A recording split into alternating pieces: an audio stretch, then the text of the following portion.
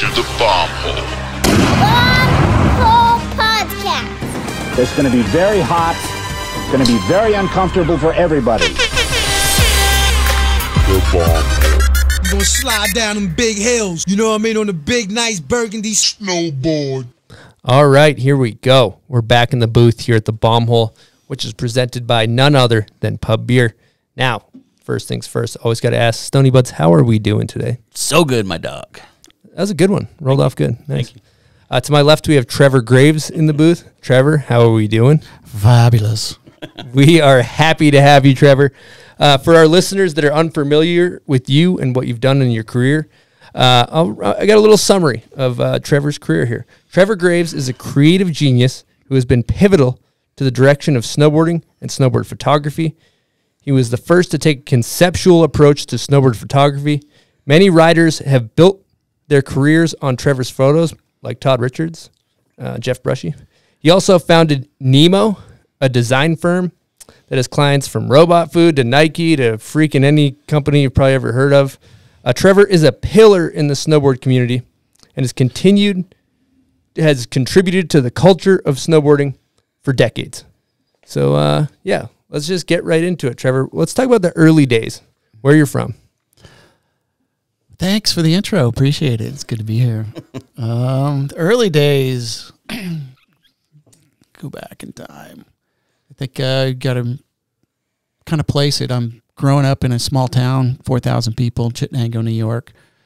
It's a birthplace of L. Frank Baum, uh, the author of The Wizard of Oz.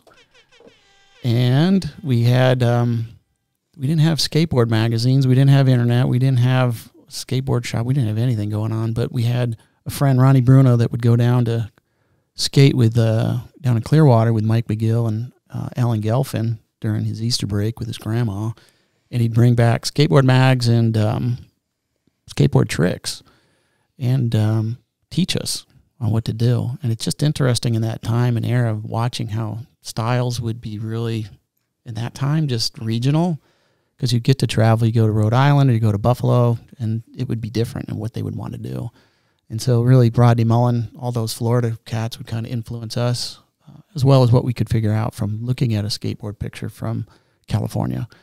And then, you know, skateboarding is fun. You know, you start to be separate. You're going, you know, I just remember the day at baseball, like we won, we lost a game. I had a good game because, you know, I'm really good at baseball. And I go, yeah, coach, I don't have to run, right? He goes, no, Graves, you got to run three extra laps. Like, fuck this. Like, grab my skateboard with cleats on and just quit. Action sports gone. Action sports is it's all me now, and um, it's it's a, such a cultural move back then. But I think in 1980, I made my first board in shop class wood.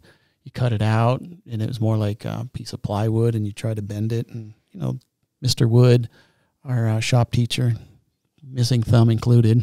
Let's get Mr. Wood in there. Lost it on the bandsaw or whatever. so classic, right? and um, and built these boards. And the other thing we're trying to do is build skeeters. Like you put the at a Dogtown deck with the trucks, and you put wood skis on the bottom from the garage sale. And you know, I thought waxing the board was candle wax, so I was dripping that on there and trying to make it work. And uh, it it had potential, but just we were just so out there, just couldn't really get it going. And then you finally get a hold of a board, probably in '88. You start seeing more at the BMX shop. And speaking of BMX, it's like down the street from me was um, I don't I'm sure you all know who Dave Mirra is. Oh yeah. Yeah, that nine year old would come over and ride my quarter pipe. he had his little BMX gang, and Ronnie and Corey and Billy Jarvis. We'd all kind of skate on my ramp. We were the skateboard gang, not really a gang, but we'd hang. And you know, this kid was phenomenal. Oh, BMX is easy. Even nine year olds can do it. Little did we know that, that guy was going to be a phenom. Um, and rest in peace, Dave. Yeah, it was it was a great run. Good people. And then Billy Jarvis, the other guy on our crew, was part of that early X Games. I don't know if you remember that when it was in Maryland. You had the luge, you had shovel racing, like little weird events back then. But he was um, actually an action figure uh, and did pretty decent in luge. So that was his claim to fame. Luckily for the United States, he's up in Alaska and he won't affect anything down here because that guy, you'd wind him up and the whole thing would be ruined. uh, yeah, love Billy.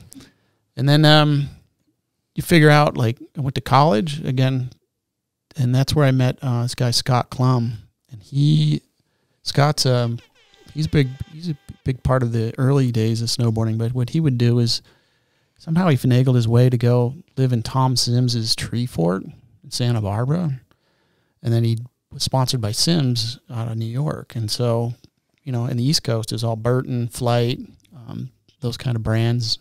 You didn't really see Sims out there. They're really hard to get a Sims board at all. Super expensive. I think it was three hundred fifty dollars for a board back then, and he had them. So he'd get the Sims team on the nose, and then that's what we get to see. So when I tried that first board, I had to try it goofy footed because he's goofy footed. And he wouldn't switch it around for me. And then that's, um, you know, there's some of those photos that we took there that really kind of set the stage for me. What Scott and I would do is, you know, we'd hear his brother would say, Yeah, it snowed. Okay, cool. We went to this farmer's lot with barbed wire fence around it. And we'd build quarter pipes because he would also be involved with uh, Chantry and Kidwell and Alan Armbruster and those guys in the Tahoe dump days. So he would bring all that stuff back to us. Actually, I remember having a VHS tape, like a dupe of a dupe of those sessions. It was, you know, not edited. It was just one roll. Mike Chantry just blah, blah, blah. You got to get him on the show, that guy. And then um, I remember going to Ames, its department store, and putting it in the machine to watch it because I didn't I didn't have enough money to get a to get a tape recording machine. So you'd watch at the store, and that's how you'd learn. Just watch, figure out. Oh, that's what you do. Okay, we'll dig a we'll dig a jump. Okay, cool. And then we took these pictures, um, and we were college, so I got um, work financial aid. So my job was the photo uh, studio manager because I really hadn't picked up a camera till I got to college. And then um, Scott and I would drive all the way back to Utica, New York, open up the lab at midnight, get the chemicals going, get your negatives out, start making contact sheets. By three in the morning, you're making five by seven prints because they're too cheap to, you know, do the full eight by ten. And then, um, you know, one thing leads to another. And here we are. Yeah, that's amazing. what year are we talking with those prints? Uh, I was in that was eighty five. I think yeah, eighty five. Met Clum fall eighty four, and that winter we started snowboarding. So it was probably um, yeah, maybe even October 84, 85. Well, let's dig into that. Uh, What kind of camera were you using? Uh, shouts out to my sister. Give her a horn. I still, I mean, I borrowed her Minolta X370 um, because I didn't have a camera, but she had one. Actually, I remember going into high school. I was super curious about the darkroom, and I remember sneaking in during my lunch class. And Connie Denchi, our art teacher, she's an old crabby lady. She catches me in there and sends me down to the office to get me suspended because she thought I was stealing stuff. I don't know, but it didn't discourage me. I kept going. But yeah, that was sort of the intro there. Was that was that little Minolta. And what inspired you to actually shoot these photos in the early days? Because you probably didn't know where you were gonna do with them, you know. Yeah, there wasn't a magazine at that time, and it was more just documenting it. I think you know, in high school, you wanted to be somebody like you want to be on the Powell team. Oh, I'm going to be a pro skateboarder. Well, I suck at it. I'll show you all my broken bones. I'm really bad at skateboarding, um, but love it. And then um, thought I'm going to be a real good snowboarder. I'm not really good at it either. I'm okay, but I'm not great. And then next thing is like, well, I guess I'll be the photographer. And I'm sure there's it's come through this. There's crews, you know, JP his crew. There's always like the alpha alpha male, and then there's the crew, you know. And if you don't have the crew that's kind of supporting that, then nobody else sees that the alpha is actually that good because it's all so done so remotely. Yeah, we we can we can share stories all day long on that stuff. so yeah, I was that guy. I was the I was the picture taker guy because Scott was a much a better athlete than I was for sure. Another thing that's kind of interesting to think about at this time is that you're taking photos which have become iconic photos in snowboarding, but there was no blueprint. There was mm-hmm. no photos that you could base your your photography off of. It seemed like mm. in skating there was cool photos, but then mm-hmm. I, I was watching something where you're talking about skiing was shot like from the bottom, blue sky in the background, mm-hmm. long lens, and you were kind of. Uh, do you want to talk about your approach to mm. taking photos? Well, I'll actually disagree with you. I think the the blueprint was definitely Grant Brittain and um, Cassimus, James Cassimus, so all the guys shooting skateboarding. And you got to think about what I had available in front of me. I didn't have powder. Uh, and early, early on, it's really Bud Fawcett, Sonny Miller, um, even Tom Sims were kind of the first guys shooting snowboarding. And there wasn't really like the category of snowboard shooter. You're kind of, I think Bud was kind of maybe the first Sonny was coming out of um, out of surf. And then, you know, later after we built the stage, it gave the Guy Motil and John Foster and all those guys the ability to come in from surf and be able to be transworld snowboarding. Uh, but we were there first, man. Just just claiming it right here forever. and then skateboarding was the influence. So again, look at where I'm at. I'm in the East Coast, ice conditions, um, and then Stratton and the whole legacy of the Stratton pipe and what it brought to East Coast snowboarding. And then, you know, think about it as far as demographics, the concentration of just people, it's just so many more people in New England than throughout most of the states except for California. And so you had a ton of people out there. So I didn't realize that I was set myself up. So again, when the opportunity came to become the International Snowboard Magazine East Coast correspondent, well, I'm on it. Five bucks a week, I'm in. Let's go. Yeah, I forgot about ISM magazine. You can't. It's Yeah. the beginning. That is the beginning. That was it. Tom Hsieh, and really smart guy. I think he's a big politician down in the Bay Area, and um, he saw again entrepreneurially. He saw the vision of what snowboarding could be, and then um, built that and gave us all a platform uh, to be able to kind of showcase. Hey, here's what we're doing in our neck of the woods. But yeah, it was that was um. That's what's what's great is it's a time that can't ever be recreated, and it's only done once, and it's up you know podcasts like this that are going to give an opportunity to lay that footprint down to go, hey, here's what it is. You know, if somebody wants to make that snowboard history movie, like you guys are going to have all the stories and pick and choose, right? Because it wrote itself. Um, I'm sure it's going to be entertaining. Hundred percent. Now, talking about uh, earlier, you mentioned Scott Klum. Mhm. Uh, the front side air photo of him on that Sims is that taken in the this time period? Yeah, that's 85. Um, he he was out of South New Berlin, um, just outside of Utica, New York, and they lived out in a you know a small farming community out there. And then he had scouted this location and just waited for conditions and the wind to be going in the right direction in order to make a snowdrift because you needed the snowdrift to dig in the vert. Uh, you couldn't just like have a you know a hill. You needed that drift to get the get the vert to get the pop, and then enough snow to get the run in so it's fast enough. So if you really look at the picture, you can see the grass poking out on the hill, and then I think that the the really iconic part that'd probably be funny for kids today is what he's wearing. Because again, he didn't have Burton snow gear. You didn't have Gore-Tex invented yet. You didn't have boots.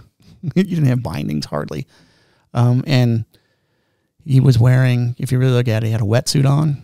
So again, you're always sitting in the snow, putzing with your bindings to get them on. So to have a longer day, you'd wear the wetsuit so you didn't get wet. So that's something that he brought over from uh, the West Coast days when he was out there.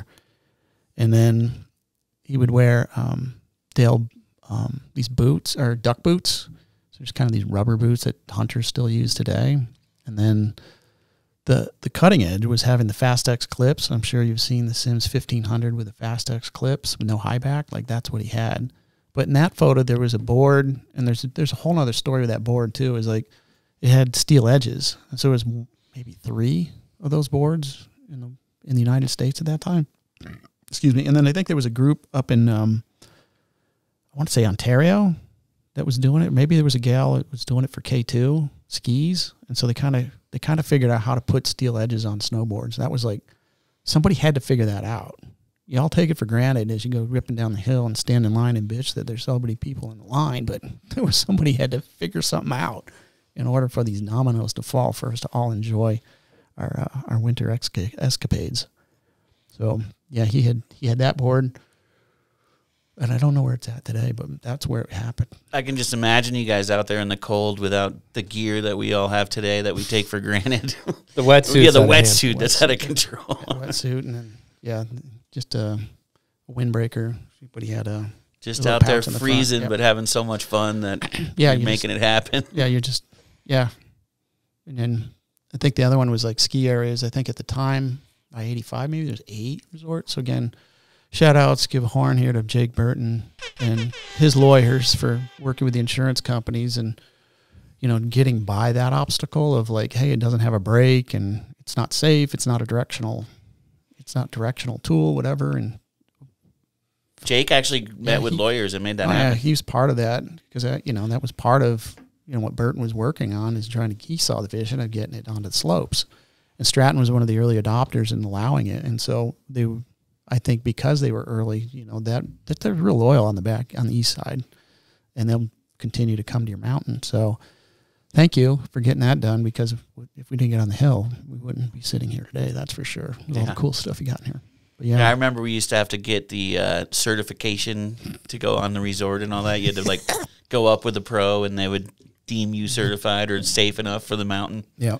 Mark Charge you a little extra. yeah, Mark Heingartner certified me. I ended up being one of those guys.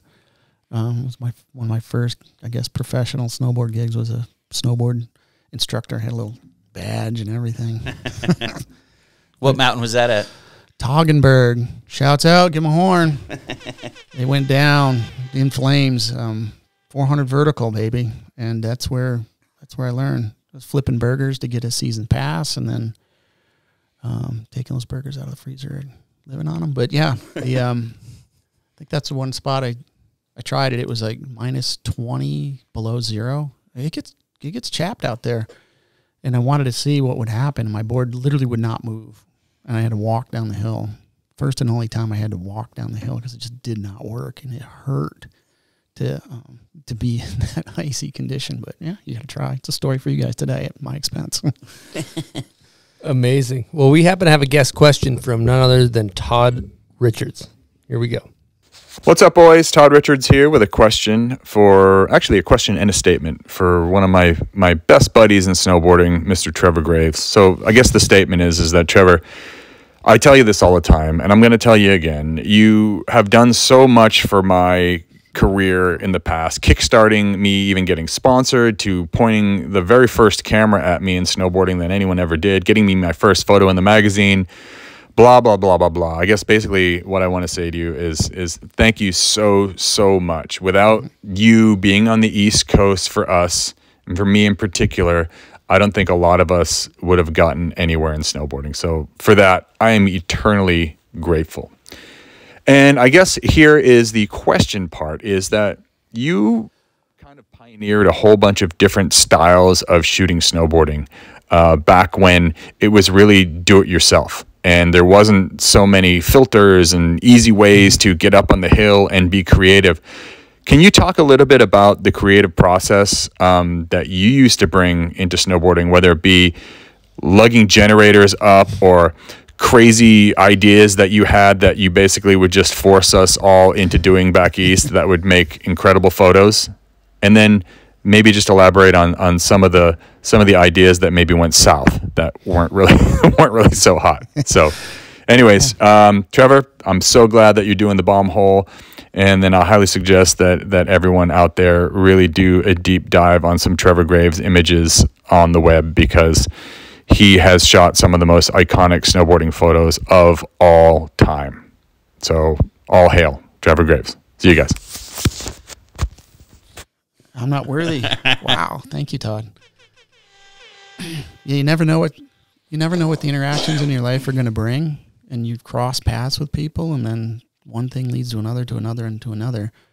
Um, but yeah, shouts out to Todd because he worked hard in the back east days as well. I mean, he was going to college, uh, getting a graphic, I think it was a graphic design uh, degree, and then he would drive his butt up to Vermont to do the New England Cup Series uh, on the weekends, and so he would you know go back and forth, back and forth. In the meantime, like Jason, uh, Noah Brandon, Rob Levine, and those guys had the Habit Trail house, and so they kind of could train all day and and be better at it.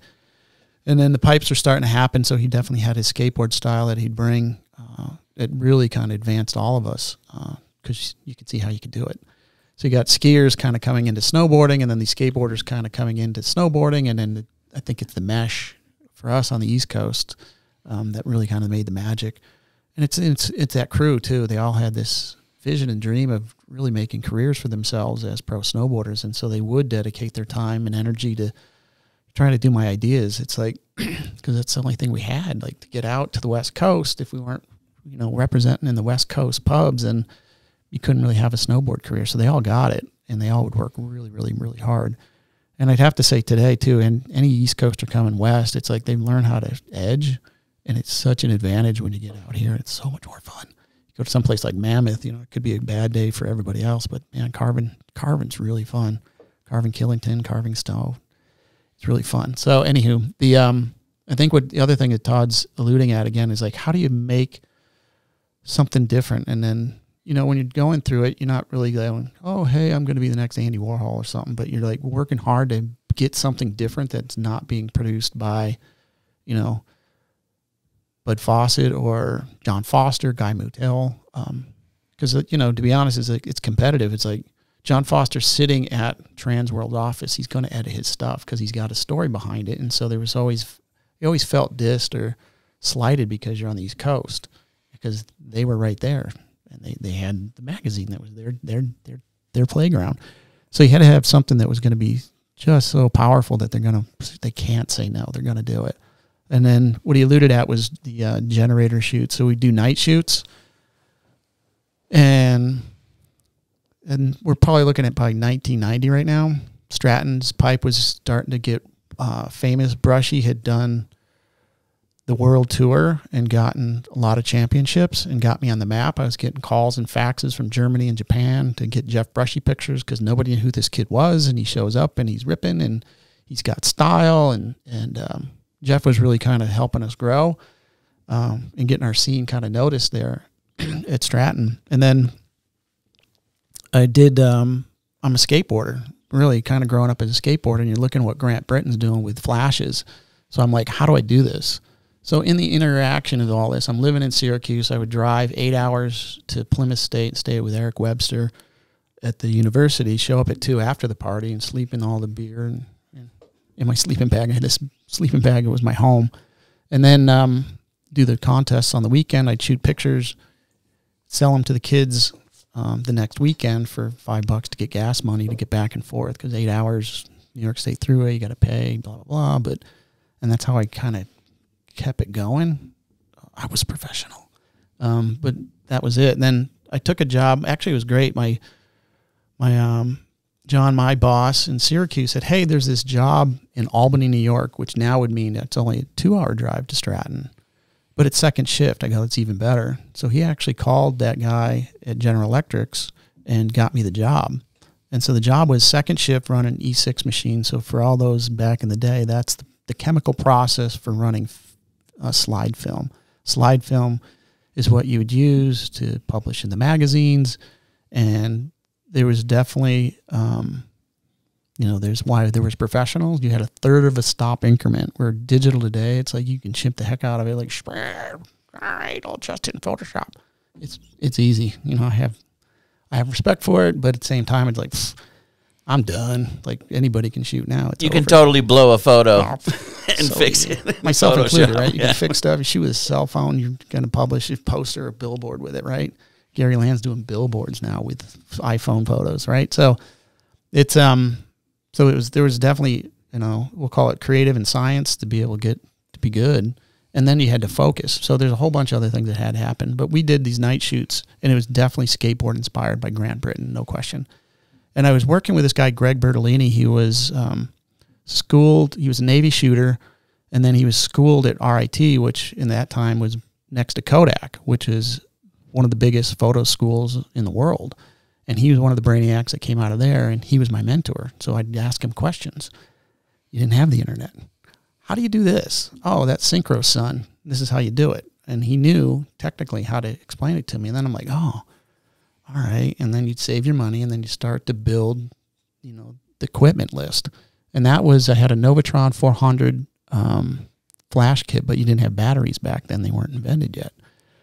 And I'd have to bring up this 2,000 watt generator. So now you see, I'm, I'm literally put this thing in my trunk of my 77 Chrysler LeBaron, and then this flash thing, and then you go up to the hill. And then what they had was this little Polaroid dealie on the back. And that was the that was the key to learning is like I could shoot a Polaroid in the snow, put it under my armpit because now it's Stratton, it's nighttime, it's seven at night, and you're like it's freezing. You had to keep it 70 degrees to get the get the chemicals to work, and then you could see, you know, literally within a minute whether I was on or off, and that's how I was learning how to shoot the exposure because you didn't want these guys hiking up and down, wasting their energy. You wanted to be on because if you suck, they're not going to want to shoot with you. So I had to keep earning it. Um, that trick helped a thousand percent. Then I could shoot the film, take it back down to General Electrics, process it, see it, and then make my next adjustment for the weekend after. But it was getting the generator up. What was fun is at first I would take it up in a sled, and and getting permission from Stratton too, because again liabilities was a big deal back then, and those guys. JP was the general manager, and he let me get up there. Um, you just yeah okay. You just turn the other way and let me do it. And then lyle and i'm sure hopefully he'll be mentioned in somebody else's uh, stories about stratton's pipe you know just a dude that's running heavy equipment made us big big old trannies and he would clean it for us before we'd go out. So everybody was celebrating this thing. And anybody who was a rookie so I remember like uh, it's probably like Seth and Seth and even Russell. It's like, yo, you got to carry the generator up if you want to shoot tonight. Pay your dues, go. Seth Miller and Seth Neary. Yeah, probably made them push it up there, and then you name you name it. All the kids from the East Coast came through at some point in time and got in on a night shoot. And then again, it's like you know, I had 36 exposures. I didn't have a ton of money. I had to pick and choose. I always felt like a dick because it's like I didn't shoot everybody. To be honest, like probably not going to get published. Your style's kind of whack, so I'm not going to shoot you today. So And they know if the flash is popping or not, huh? Oh yeah, you can totally tell. So it's like you get them, you get them going, and then, um, you know, then it was like during the U.S. Open, it's like when the guys would all come into town, like Craig Kelly specifically. You know, it's like, okay, Craig, and he would show up prepped and ready. And so there's another shot. I don't know if I bring it today, but Craig literally wore the Oakleys. Like the dude knew what to do. He's wearing Oakleys at night, you know, because he knew what was going on. And then I had the um, in Brushy, we I shared earlier is like we changed up clothing. So we learned that if we wore lighter clothing, yellows and oranges and reds, then the photos would pop better, and we had better potential to get in the cover. Because that was always my goal: was get the cover, get the big bucks, and then be able to get the next lens for the camera quiver. Do you remember what they paid for a cover back then? Eight hundred bucks, I think. it never actually changed very much. Really? Oh, that's so sad, man. All this inflation. I think it went up to like a thousand. Oh no! I'm glad I got out. No. I can't believe you had to bring a generator to make your flash work. Yeah, there was like well again to get the most that much power. Yeah, um, and now they just have a battery pack that Oh, yeah, clips like- right on. yeah. It's a whole different world. I mean, you were getting faxes from overseas to buy photos.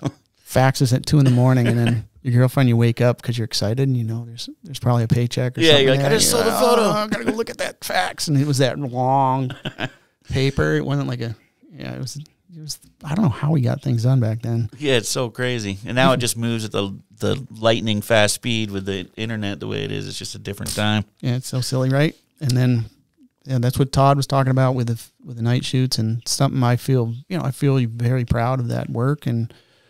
That's when you got that up. brushy shot. Oh yeah, Brushy was like, Brushy was the king, dude. Like, he'd come in and he just, he'd literally look at me and poke, and it was like, it felt like five seconds. He's standing in the air, just looking at me. Boop, pop. Okay, you get it. And I, next, the dude was on it, and then we we coordinate the tricks and figure out what we wanted to shoot. But um, We talked earlier how he had those double tongue boots, and that's how he was getting those crazy tweaks. Huh? yeah, You had some of something to say about that. Yeah, it was just it was blowing away how uh, I remember when Burton came out with them, and uh, I actually had a pair.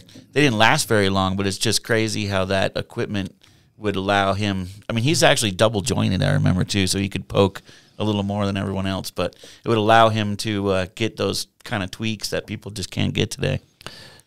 style. Style, and he had just the best style. I mean, I remember looking at that photo when I was a kid, and that's kind of what inspired me to Last to- year, last year, yeah, I wish. Uh, 97 years ago, actually. yeah, more like 160 years ago. But inspired me to uh, pursue snowboarding. You know, you see a shot of Jeff like that. It was just incredible what it can do to a young kid and get you just hyped on a sport. So, yeah, thank you for creating those images. Was- yeah, it was fun times. I have a question, particularly about that brushy photo. I want to know you're in the dark room, you're scrolling through your your film. That thing come, you see that thing. How was that experience? You were you like, this is a banger. That word wasn't invented yet. Yeah. But you felt No. the clip high. Uh, That's it's, what we um, call it.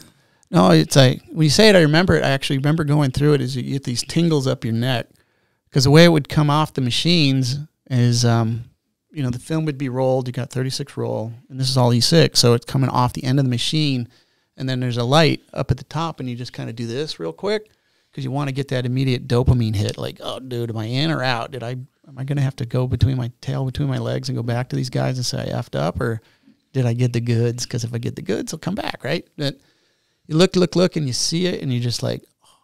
and then the, you know, the dopamine tingle, the dopamine goes up your neck, and you're like, oh, I want this high every single time, and I think that's why you keep doing it. But yeah, um, thanks for that little buzz.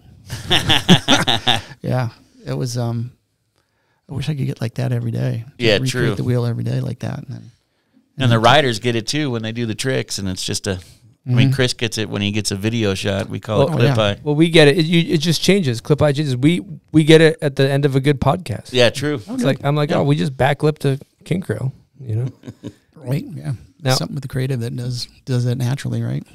So I mentioned the, as you put it, clip high tingle on your neck about getting that that photo of Jeff Brushie back. Do you want to just walk us through that iconic photo? Jeff Brushie photo. Um, air to fakie, yellow pants, dreadlocks a flying, and he's staring down the barrel of the camera. Uh, the way we do that is I'd bring up a 2,000 watt generator to the side of the pipe, and then I'd have my girlfriend at the time actually hold a two by four oct- um, softbox with the flash inside of it. So the flash, or the for those that don't know what those boxes do, it kind of makes the light bigger so that um, you wouldn't get any harsh shadows or these little pointy things. And so that was important to me. And then work with Jeff uh, and all the guys that were there. Usually take three to five of us so that so the kicker didn't get uh, tracked out too bad. Uh, and then work, and that was it. And everybody, and it was for that shot. Um, man, that one ended up in an ad for Burton. That was really one of the cool ads that JDK did back then. I thought were really, I thought those are still they still stand up to today's standards. I think, but you tell me. And then, and that really those photos when they started showing up, everybody else wanted to come to these night shoots, and then you kind of had this um, exclusivity club where you got invited or you didn't to get up on the hill those days. Um, I always felt bad about it. The other one is I always wanted to bring and share a JPEG if I could or a print, and I just didn't have the budgets to be able to bring them pictures each time so they could put them on the fridge or send to a sponsor. They kind of had to wait for the magazine to show up um, to get them to get them out there. How many tries would it take Jeff to get a rad shot like that? Would it, is it easy for him or? It's all done in post. No, just kidding. um, no, Jeff's pro, dude. Yeah, he would just nail it. He could down. I mean, obviously, any one of them, especially when you're starting out, it's in any any night session on the pipe. You get used to it. You kind of got your get your feet underneath you. All the guys, and then once you start getting it, you get the little rut built, and there's this sort of the speeds. Uh, they're they're starting to pick up. Then they start going higher. They got more confidence, and then the tricks start to flow. And what's great with that arrow isn't about how many spins or I'm going to die with my head landing on the deck. It's like just style, period. It's it's all skate influenced and wanted to make it look so styly. So all those guys, um, that's what they would bring to the table. What's cool is it's kind of come around full circle too, where guys are trying to emulate emulate that Oh. photo. Really, Yeah, and it's kind of like the new style right now, which is rad for the riders because they don't have to do a fourteen forty or some crazy maneuver. They can just focus. But the- the boots are stiffer now though, so it's hard to get those tweaks. it's true. They are a lot stiffer. And then, um, yeah, some of the method airs I'm seeing too. Those guys are just boating. Yeah, just Oh, boosting. Yeah, it's crazy. Yeah, even in the pipe. Japanese kid there in the pipe, was 20, what, 25 feet out. Like, that was incredible. could have never even fathomed the idea of a 25 foot air back in 1990. Yeah, when you were shooting the Stratton pipe, it was just a hand dug pipe, or like you were Yeah. saying, maybe some heavy equipment. Eight foot out was a big, a big night. That was a big air. Yeah, it was big. And then, all right, forgive us. It wasn't, it wasn't the same standards, but yeah. But it, at the time, Imagery it was though amazing. still is better than today's. Yeah, the imagery still holds up. If I got that photo today, I would Yeah. probably retire. get you stoked to get out and ride. That was the intent all along with that era was just get everybody excited to come out and go snowboarding. Period. Yeah, get more people excited, huh? Yeah, because yeah, you were so underrepresented on the ski resort, and, um, and to getting more people out, you just felt, yeah, you could feel like that sense of community. That's the other thing I think y'all can't feel in today's era is just that feeling of, hey, you got you got a board. We're buddies, and Instant bros, huh? instant bros. And nowadays it's like, yo, you're in my way. Stay, you know. Yeah, not that same thing, huh? No. Every snowboarder was your friend. Yeah, I think I had that one day and up at Meadows and was going over shooting star and I looked down. and There's all these borders and you're like I took a picture of it actually, and I was like, oh, I was just so bummed because I didn't know any one of them and they don't know me. It's like it's just like oh, we're at the mall. It doesn't matter. It's like, yeah, and back then everyone knew everyone. oh, huh? yeah, it was such a great era. And then they let you sleep on their couch and they'd help you anyway anyway to, to get you on the hill. So yeah, it was a really good era. I really feel really privileged that I got to experience that. Also, the vibe when people would hike the pipe together. Yep. That was a cool thing we talk about on the show now and again. That is kind of lost now. Yeah, the um, yeah, the show and just the closeness to the athletes at the U.S. Open, and I'm sure uh, plenty of the guys that you'll talk to will share that experience. It was that was um, that was special. Yeah, Very special time. Now I have a question. I was talking to Todd Richards, who said that um, he would not have a career if you didn't point a camera at him, and he said the same about potentially Brushie. Um, but he said, I want to just do a little MythBusters here. He said you had a wardrobe of on, uh, where you only wore three U two shirts, and that was it. is that what he's saying? It's probably true. It's like I don't remember what era that was. Well, I got to shoot. I had a girlfriend that had, or before I was doing all this, I, I had a girlfriend that was the uh, fan club president for U2. And so I'd go to Boston and shoot. So Todd would skate and I get to shoot him. But then the day before, I was shooting Bono. It's like, all right, this is cool. And it was in the Palace or Palisades Theater. It was really small, small venue, maybe even as big as this place. And then you're there with Bono, and it's like, oh wow, I'm going places. And so I got that again. It's a game of who you know. Period. Everything in life, it's a game of who you know, right? So I got in and got to do that work. So that's where I got the the U two stuff um, from there. I wonder what she's doing today. I have no idea. Amazing. And then at some point along those uh, years, you met a young Cole Barash. That guy, he's done all right too. Yeah, he's Give got a some, little air horn. Yeah, it's, that's when I first got um. You know, as a shooter, you get to kind of run the um, you know, the professional circus in the background, but don't have to deal with all the weirdness at the front. So, like Jeff, like for example, Jeff, you go to Brush, Brush, would go to Japan and they get swamped, and Jeff's not that guy. He just doesn't doesn't like it so much, and he's a little more reserved. But as a shooter, you didn't have to deal with it, but you got all the same perks but you never got recognized. You know, the little name maybe, but then there's like a style issue for snowboarder, and then I went to a snow shop uh, up in Burlington, and then this kid, I don't know, he's like 14, comes up, he goes, "Hey, are you Trevor Graves?" And I'm like, usually people thought I was Craig Kelly because you're hanging out with Br- Brushie and all the other guys, but no, yeah. He goes, yeah, in the style guide on page 45, there's a black and white picture. Was that shot with a 25 red filter? And I'm like, the heck is this kid? Like, what? Yeah, it is actually. And then um, Cole's career blew, you know, he flourished from there. And then as, and that's what I like too about um, aging out. You know, it's like you get your varsity letter and then you got to move out for the next team to kind of come in and take the locker and run the show. And, you know, I had moved out of the East Coast and that gave opportunity for the next crew to come through, like Gary Land and, um, he, he's got a good one going there, and Cole and and all those guys, because you're out of the way, and they can kind of come in and run the show. And that's great. That's the way it should be. Okay, we happen to have a guest question from none other than Cole Barash. Yeah, what up, Bombhole? Cole Barash here. Buds, how are we doing? Grandees, TG, thanks for having me. I have a question for you today.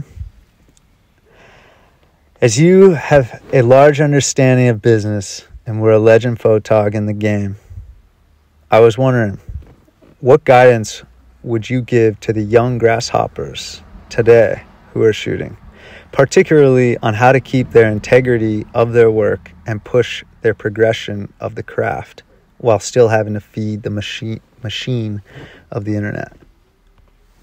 Thank you and hope y'all have a good one. Great question, Cole. And I wouldn't expect anything less from you. So I appreciate it and congratulations on your career and all the amazing things and a bigger shout out to being a new family man and, and owning that job and category. Congratulations, Give him some applause for that. and um, it's funny because I just literally just jumped on TikTok feed today, and it was like um, the career or the college c- degrees that pay the least amount, and the worst one. Guess. Was it photography? Yeah, Really? That. The, the worst career college Worst career choice? you can make is as a photographer. Oh, oh no, we're doomed. So I guess if that's truth, yeah, don't start today. Start something else. And then you know you hit on a couple points too. Again, it's like having integrity, feeding the machine, and just keeping a paycheck coming. And there was um, there's one there's one soundbite right. That if I could put a headline up, it's like if you start shooting weddings during the summer and you want to be a snowboard photographer and you get too good at shooting the weddings, guess what? You're a wedding photographer now. Congratulations. Careful what you choose as uh, your subject matter. Um, so again, creatively, I can shoot whatever I want. I don't necessarily share it and post it. I will shoot a wedding for a friend if they need help, and I want to do that as part of my gift to them and celebrating their their wedding. But you will not find me shooting uh, unless I absolutely necessarily have to. And I did do two, admittedly, back in the day when I was in Syracuse to get the check. Um, but I knew what I was doing. It was a strategy on my part, knowing, okay, I got the skill, I just need the money, so I'll take it.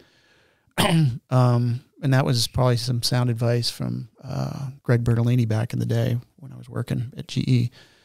And then if you, um, the other one is like, why am I going to hire you today? So again, have a subject matter expertise, and iPhones count on today's platform. So I look at like you know having your Instagram feed fed, um, because that's where I probably you know I look at where our creative teams at Nemo find inspiration is it's through those Instagram feeds, and they're going to find somebody and they're going to want to introduce them when the project's right um, to to the to one of our clients, and so and they're going to get the confidence based on what they're seeing on your Instagram feed. So that's part of your marketing tool. So you got to feed that thing and then think about it strategically and not um, as an afterthought, like, oh, I got to put something up today. Be purposeful on what you're putting up there and have a reason and a rationale.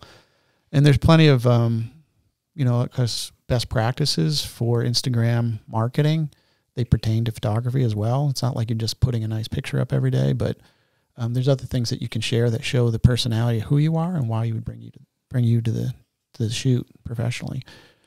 And the other one is like, why am I going to pick your photo? Right? Like against area subject area matter matters. I think about when I was working with Mastercraft at uh, one of our Nemo clients. There was a young shooter out of Florida um, that had a zine.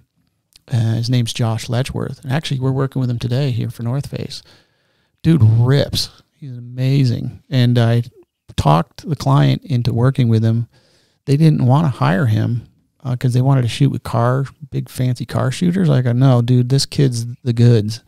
And he had water housing experience, but he doesn't really have water housing experience. What he does is he literally makes the chest protector a diaper and floats with a 35 mil rig at water level. So if he goes over, the whole rig's done damn. And he's that good and confident that he can pull that off. And that's just part of what he can do that everybody else can't do. That we hire him and pay him too much money. I mean, a lot of money to do it. and I enjoy every dollar I spend with this guy. So I just joke because we're good buddies that way. And a um, Why doesn't he just use water housing? I don't know. I think it's just the way it focuses for him, just the way he feels. Because Yeah, again, when maybe- he was learning too, it didn't have autofocus. But there's a couple guys in, in my career back before autofocus. It was Like Vianney Tisseau was a fucking wizard with with the autofocus with manual focusing. Yeah. And then um, this guy Josh in the water was able to manually just manually autofocus. It was that quick. He was that good at it. So shout out to having that manual skill. It's like an athletic gift uh, to be able to manually focus that well. And then you're saving film, et cetera, et cetera. And then um, so he had something unique and different. He's a water expert, surf expert kind of guy, um, like Matty Good, Matty Goodman, um, water guy. Gets into surf, gets it done. Ever try shooting in the surf? It's a little bit, like once or twice, just from the beach, not in the water. Dude, I got humbled. Really, I you just get. You were out in the water. Oh, I had a little Iconis and is with um, Jeff Hurley, Dave Downing, and Jamie Lynn at um, Namotu in Tavarua. And I got in the water. Oh, I'm going to do this. and get in and set the barrel. I'm in there. I'm shooting, put my hand through them. Dude, I'm Don King. He was the guy back in the day, this polo player that would just tread water for hours. And then I got worked. By the waves. Dude, I just got up in the washing machine. Yeah. I went down. The camera got loose. I'm just Oh, into no. the reef. I'm just, I just got, Dave Downing saved me. Thank you, Dave. I was, oh. A lot harder than You wearing flippers too? No, it's just, um, I had a little floaty thing on, but man, it didn't help me and I just got work. So. Yeah, I think you have to have flippers, right? And the in the bigger stuff. Yeah, I the wasn't bigger stuff. I wasn't allowed to go to Cloud Break. Yeah. I shot the I shot on Scavenging Cloud Break, but that's a whole nother story. But it was fun to be able to go into that world for a little bit and have a better appreciation for the sport For the and- people that oh, actually do it full time. yeah, I mean it's one thing to stand on the beach and look good, but then Yeah. big lens. But man, getting in the water, No joke. I'm not worthy. They're just a whole nother breed. Yeah, I can't even imagine. I have a big shark phobia, so I couldn't hang out all day in the water like that. Right? I just feel like bait. You'd be more likely to die from a mosquito bite than a shark. Is bite. that is that the deal? statistically true? Yeah. Still, Jaws, it did it for me. So going back to uh, Cole's question, though, you know, advice for a young grasshopper. I'm I'm going to highlight something that you said earlier that I thought was great advice in regards to shooting with you too. You're like it's all who you know. Is yeah the who you know statement again that is um so critical. It's all networking. I have my kids now are young adults and it's just something i'm pounding to them every minute i get. It's like my daughter aiden's working for me at the nemo shop right now and it's like she's kind of shy and it's like hey we're having a lunch a barbecue meet these people because they will help you get to the next spot. And I, and it is so true. As um you know I think about the, the the thing is like I met Scott Clum at college, who hung out with Tom Sims, who introduced me to Tom Hsieh at International Snowboard Magazine, who got me my first published photos, that introduced my name to the world, and then started, you know, all the feed. You know, introduced me to Brushie. You know, the next thing, next thing, next thing. Um, and as Todd said as earlier too, is like we had that connection, we knew each other, and then one thing leads to another. And even today, we'll still. I gave him, I gave him a shout, and he need, hey, I need to get an SUV down in San Diego. Help me out. Like it's somebody I knew in San Diego. Happened to be Todd Richards, but it's like, hey, it's in my quiver. I'll use him. Say, come on, help me out, because he wants to help out. Because we all, that's what you do. Um, so yeah, it's it did. So you don't need a college education. It's a game of who you know. So be a good networker. Yeah, I've heard even in college, it all just comes down to who you met in college and partied with, and those are the people that get you Mm-hmm. the jobs. That's the scary thing with the you know with COVID and everybody getting locked down. It's like colleges. You don't. It is all the people that you meet at school. And I think right now, what I'm feeling, I don't really. I'm fairly blessed at Nemo where. You know, everybody wants to do work remotely and they feel they got a new benefit, but I think they're actually shooting themselves in the foot by not having the employer to have a central place to come and meet and collaborate and share ideas with. You know, hey, if you just want to be, you know, hey, I'm a telemarketer, cool, do that from your house and kitchen. Awesome. There's a new world that's just opened up to you. Great. Awesome. Take advantage of it. But man, I notice it's our young employees that want to get into the shop to mentor with our senior people to learn the gift and the craft. And it isn't happening on Zoom. It's happening live in the room when you get to sit with a mentor and watch them live um, and how they're going to do and handle the challenges. Because creativity is different every day for us. Our clients make us think differently every single day. This is not a factory with creativity. You can't just pump it out one after the other. Um, you got to reinvent the wheel every day, and that's the gift of it. You have to have a new campaign every time you sit down with a new client, right? You can't just Mm-hmm. go back to with the old idea. Every day. And in the office Yep. here, we see the same thing. You know, when you get together, that's when the ideas start formulating better. You know, Hell yeah. spitballing ideas and and I commend you for making it, you know, in this is part of the brand of the bomb hole and is getting here physically and watching you guys. I'm reading you and, and feeling this energy, and it makes me want to uh, participate. But we could have done this on Zoom, Hundred percent. It's but the it's same. not. Yeah, it the wouldn't have been the same product. conversation, It's not right? the same product, and so congratulations for making that uh, commitment. You know, to keeping this whole thing going the way your vision of making it come to be. Because I think it's right. This is awesome. Awesome. Thank you. It's fun. It's fun. We we're uh, lucky to have conversations. But like you were saying earlier, the one thing that's great about having everybody together is you you yell across to the desk next to you, "Hey, what do you think about this?" Or changes. Somebody's graphic designing a T-shirt, and instead of going back and forth on five emails, you can say, "Well, I don't like this. You should try this color. Come back in in two seconds. Actually, try this color and this color." Okay, boom, we got it. That would have taken five days of emails. Yep. Right. Totally. And um, you get it. It's like you, like I say, I think the younger generation gets it better, as I didn't think they would. To be honest, in the seat that I sit in some days, and I didn't think they'd get it, but they do. And so, congratulations. Yeah, back to it's a game of who you know and stay networking. Um, Were you kind of the person that pushed Cole, like to get him starting to get published and all that? Not at all. No. Um, I think even Cole will probably give other props out to other shooters that gave him other opportunities because John Foster was sitting in a great seat that could help. Um, East Coast was wide open. Kid's talented. He definitely had um, a, a unique look, an editorial kind of look to what he was shooting that was different than what I was doing and anybody else at that time. And so he earned it straight up. Well, I want, I want to change gears into the migration from East Coast to Oregon and how what that looked like.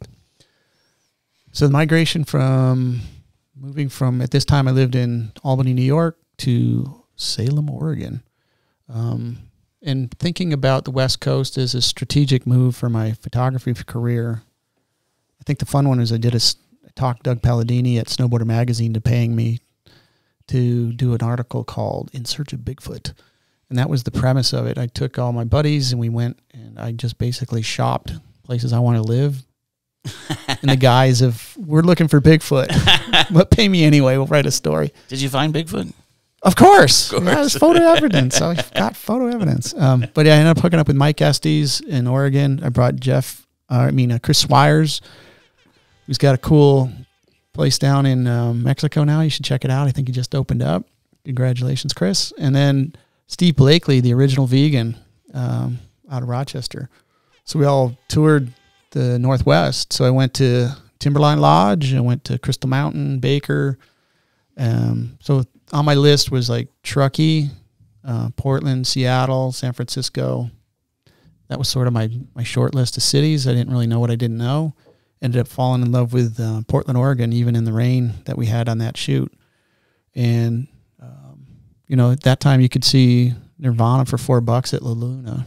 So it was a special time back then. Four dollars to see Nirvana. Wow. Four bucks. Yeah, one of the guys works for me, Mark, got to see Nirvana for cheap. But and then the, um, so we got in to Portland. So what I ended up doing is um, my wife at the time was repping for uh, Morrow Snowboards with Brad Stewart. So Rob Morrow and Brad Stewart kicked out of Sims with uh, Mickey Keller and Scott, and they started Morrow Snowboards in Salem, Oregon. That's where Rob Morrow's from. Another guy would be great for the show too. He's really fun, fun character. And he was she was East Coast rep, so we were turning screws at demos, etc. Had a little little van, and he said, "Hey, you want to come out and work in the marketing department here in Salem?" Yeah, let's do it. Five hundred bucks. We started our journey. Got to the the middle section, or what do they call it, Tornado Alley or whatever. Watch that whole thing go down, and had to hide under the bridge. And this is when there was payphones. And click, click. Hey, Brad. I think we're in the middle of the country. We're in the middle of the country. We're on our way. He goes, "Oh, I won't be here when you get here. I'm starting a new company called Bonfire." Oh damn. like, oh, okay. Because the whole premise was working with Brad Stewart um, and being mentoring with Brad and, and learning the ropes because he was he was well uh, well ahead of where I was at with the whole uh, industry. And then you know, good thing, bad thing, who knows, is what it is. But we got to Port, we got to Salem, and then I ended up living in Rob Morrow's mom's house for six months or so. Um, in order until we found a place to live uh, in Salem, Oregon. So that's where I started uh, on the on the West Coast, and then my business quadrupled because now you're closer to Tahoe. You're just a drive or quick flight, Reno Air, get in, get to Asia. Even New Zealand trips were happening because it's a lot quicker flight. Not that twenty whatever nine hours is quick, but you could get in and out, um, and then Mount Hood, obviously. So I could always be pulling shoots all summer long in August because I was I had a monopoly on snow. So it was definitely a business strategy and an emotional strategy. I still feel my soul was meant to be. I thought I'd live in California as a kid skateboarding at 12 years old, but you know Portland worked out as a better home for me, and that's home today. Amazing. Now, around that time, I know that uh, Craig Kelly flew you out to Riksgränsen. I want to hear the story behind that. You did your homework, yeah. Craig Kelly is um, the utmost uh, professional, and I'm sure many guests have shared that story about Craig. Um, but what Craig, Craig, smart guy. What they were doing is they get photo incentives, and so he wanted to make sure he was getting the most dollar return on his time. And I'm looking at it a little bit from my seat now as you know a business person and and looking back at what we're doing as these young men and he he didn't um he knew like if I get Trevor to come and shoot this camp I'm doing in Riksgränsen, and again that at the time was a, a pinnacle place to go.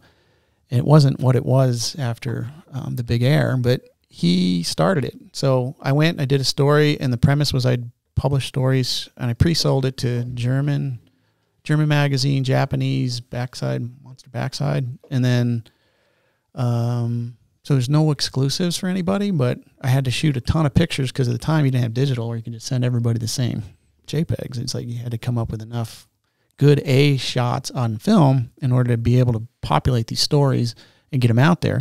And so Craig could knew that whatever he would spend getting me there would be a quadruple in return on his bottom line as a business.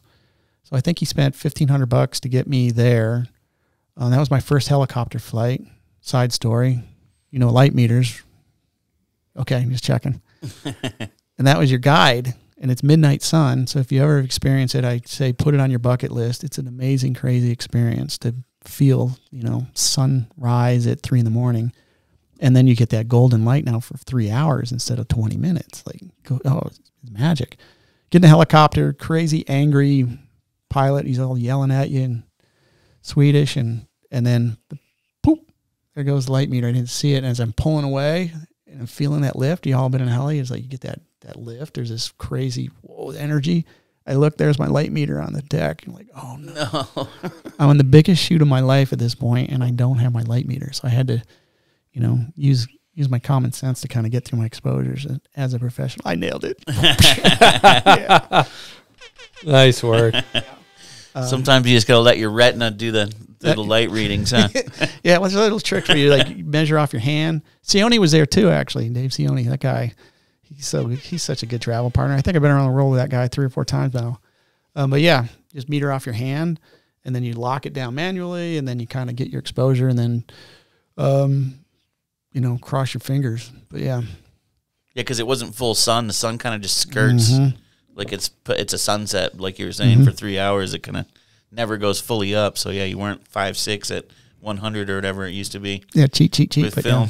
yeah, yeah, it uh, it was yeah, I figured it out, and then um, and then Craig, yeah, that was just part of the legacy of what Craig would contribute to others. Again, and again, it's teaching others. Jason Ford and and onward and as a mentor, he would kind of coach the rest of the folks.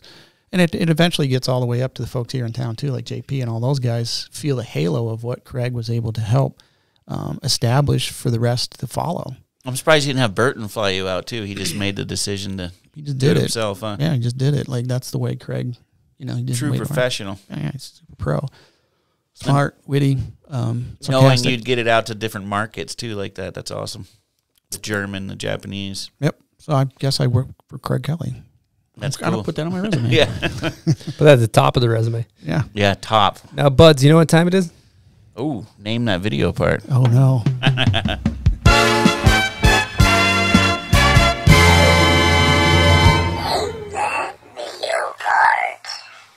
Uh, name that video parts presented by our Patreon because our Patreon kicks ass. So thank you guys for supporting us. Um, how are you feeling, Trevor?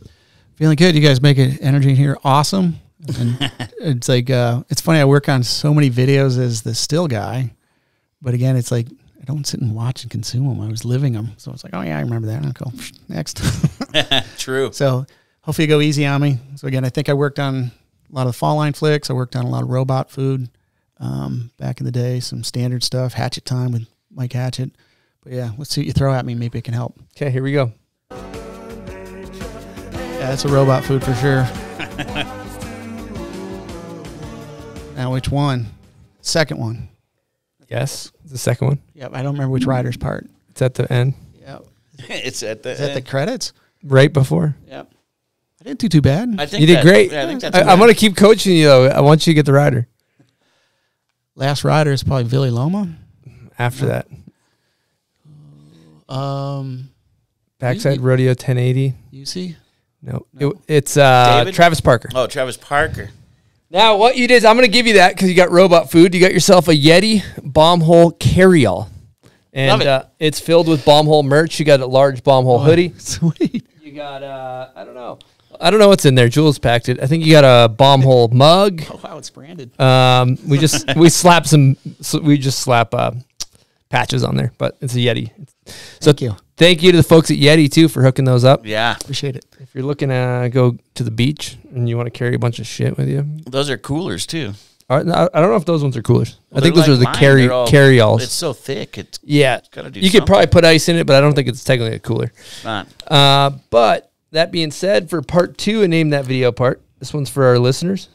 Uh, so you don't have to answer this one, Trevor. Good luck, team. Um, and if you for how do we decide the winner, buds? You got to go to the Instagram, and when we post a photo of Trevor, um, that first photo is where you put the answer, and you will win a prize pack. That's absolutely correct. Not the prize pack that Trevor got, but something yeah, a bomb hole prize pack. similar, we'll say.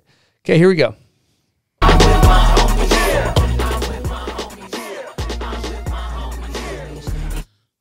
Nope, I don't got it. Okay, thank you guys for playing. Name that video part.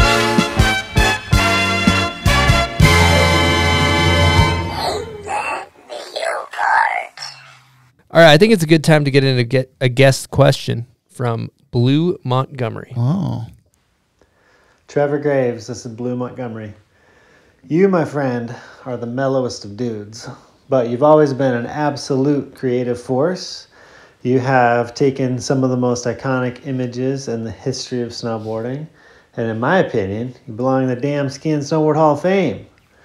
In addition to that, you've created an absolute powerhouse in Nemo design that has contributed to snowboard graphics and images and ad campaigns more than many people listening to this podcast probably realize. Um, but hey, my question for you is over the years, did you see uh, a tipping point for snowboarding? Maybe it was an athlete you were around, or a trip you were on, or a product that you saw. Um, that at that moment you you knew you realized that um, snowboarding was going to be a cultural phenomenon. Um, I'd love to hear your thoughts on that, and also just know um, you know what snowboarding means to you now and and how it fits into your life. So, um, tons of respect, as you know. Love you, miss you. Um, hope our paths cross soon. Can't wait to hear your episode. hey Blue, thanks for the kind words. Good people. That guy liked his podcast here. He's yeah, solid. so questions again to recap again. Lots of uh, what was the tipping point that I saw for snowboarding um, to be big, I guess, and what does snowboarding mean to me today? So I'll start at the beginning, and again, I I didn't know what the word entrepreneur was when I was coming up the ranks as a kid, and then but you knew that snowboarding was going to be big. So I always thought skateboarding was bigger than probably what it really was, and I always knew that if I could be at the beginning of snowboarding and ride the wave, that I'd be able to make a living and I wouldn't have to work at the factory. Because we've all had those shitty jobs. That's a whole other question that we can have at another time. But yes, I didn't want to end up in those jobs, um, and so I really wanted to make make a run at it. And I think that I can't, you know, I'm not going to say like, oh, the high back binding was invented. It was more just the whole, just this whole snowball was just moving. And for me, it was just that crew with, um, you know, with Brushie and, and those guys, Jason Ford, Noah Brandon, coming up out of the East Coast, knowing that there was going to be something bigger that would be able to support me once it grew big enough. I knew it needed magazines um, in order to get advertisers to kind of grow it. Just you know, as rudimentary as my business knowledge was at that time. And once it was there, then it would take care of me. And I think even then it was like I wanted to be the best snowboard photographer in the world, period. That was the only vision I had probably in 1988. That's all I thought about. Every decision I made was I'm going to be the best. That's it. So every decision, you don't go out to bars, you don't take girls out to dinner, you save the money because you need it for gas. You know, it's like that's all I wanted to do was be that guy. So good thing, bad thing, who knows? There's probably some sacrifices and experiences along the way that I didn't get to do, but didn't matter. I wanted to be the best. Um, and then snowboarding today, you know what's great is uh, I'm sure you can guys resonate with this is like not having to snowboard with the on your back, The backpack. dude. like our gear was, you know, you had to have a backup body, you know, all the gear, F5s, Nike had batteries, you had to have extra, you had an extra body in case it goes down. Because if you'd shot at Baker for one stormy weekend, that body was for sure going to break right when it wasn't convenient because it got moisture in it. So you'd always have to run with two or three bodies in that bag. And, um, you know, my pack, I don't know about you guys, I was running probably 35 pounds. And um, if I had the Misty Cam, add another 10. Uh, and if you're shooting with any of the big strobes, because uh, those, things were massive. And so if you get a Stroby one, I call them Stroby Wan Kenobis that Nice. Solid name. so Great name. you know what I'm saying? A grip, yo, you want to earn some earn some free money? Let's go. You're carrying this heavy thing because I can't do it all. Um, so it's right. Hey, we're just running without that. But I think it's the um, you know, the social impact that everybody experiences. It's like getting out with nature, communing, having um, these memorable moments with your friends and family as you get to go and experience Mother Nature that way. And then it is still lust for those powder turns. And you know, Japanese have like a thousand words for snow. And in America, we don't have a word for that feeling in powder turns. I don't, I can look at you guys and you all know what it feels like. And, you know, powder turn, that feeling, there should be a special word for that feeling of weightlessness and freedom that you feel when you nail a really sweet turn. And there isn't, but we all know. We'll just leave it at that. Um, but again, days on snow probably is way less. I think when I was shooting, I'd average about 180 days on snow in my prime years, and then probably today, if I get 10 good days with friends, that's good enough. That's fine.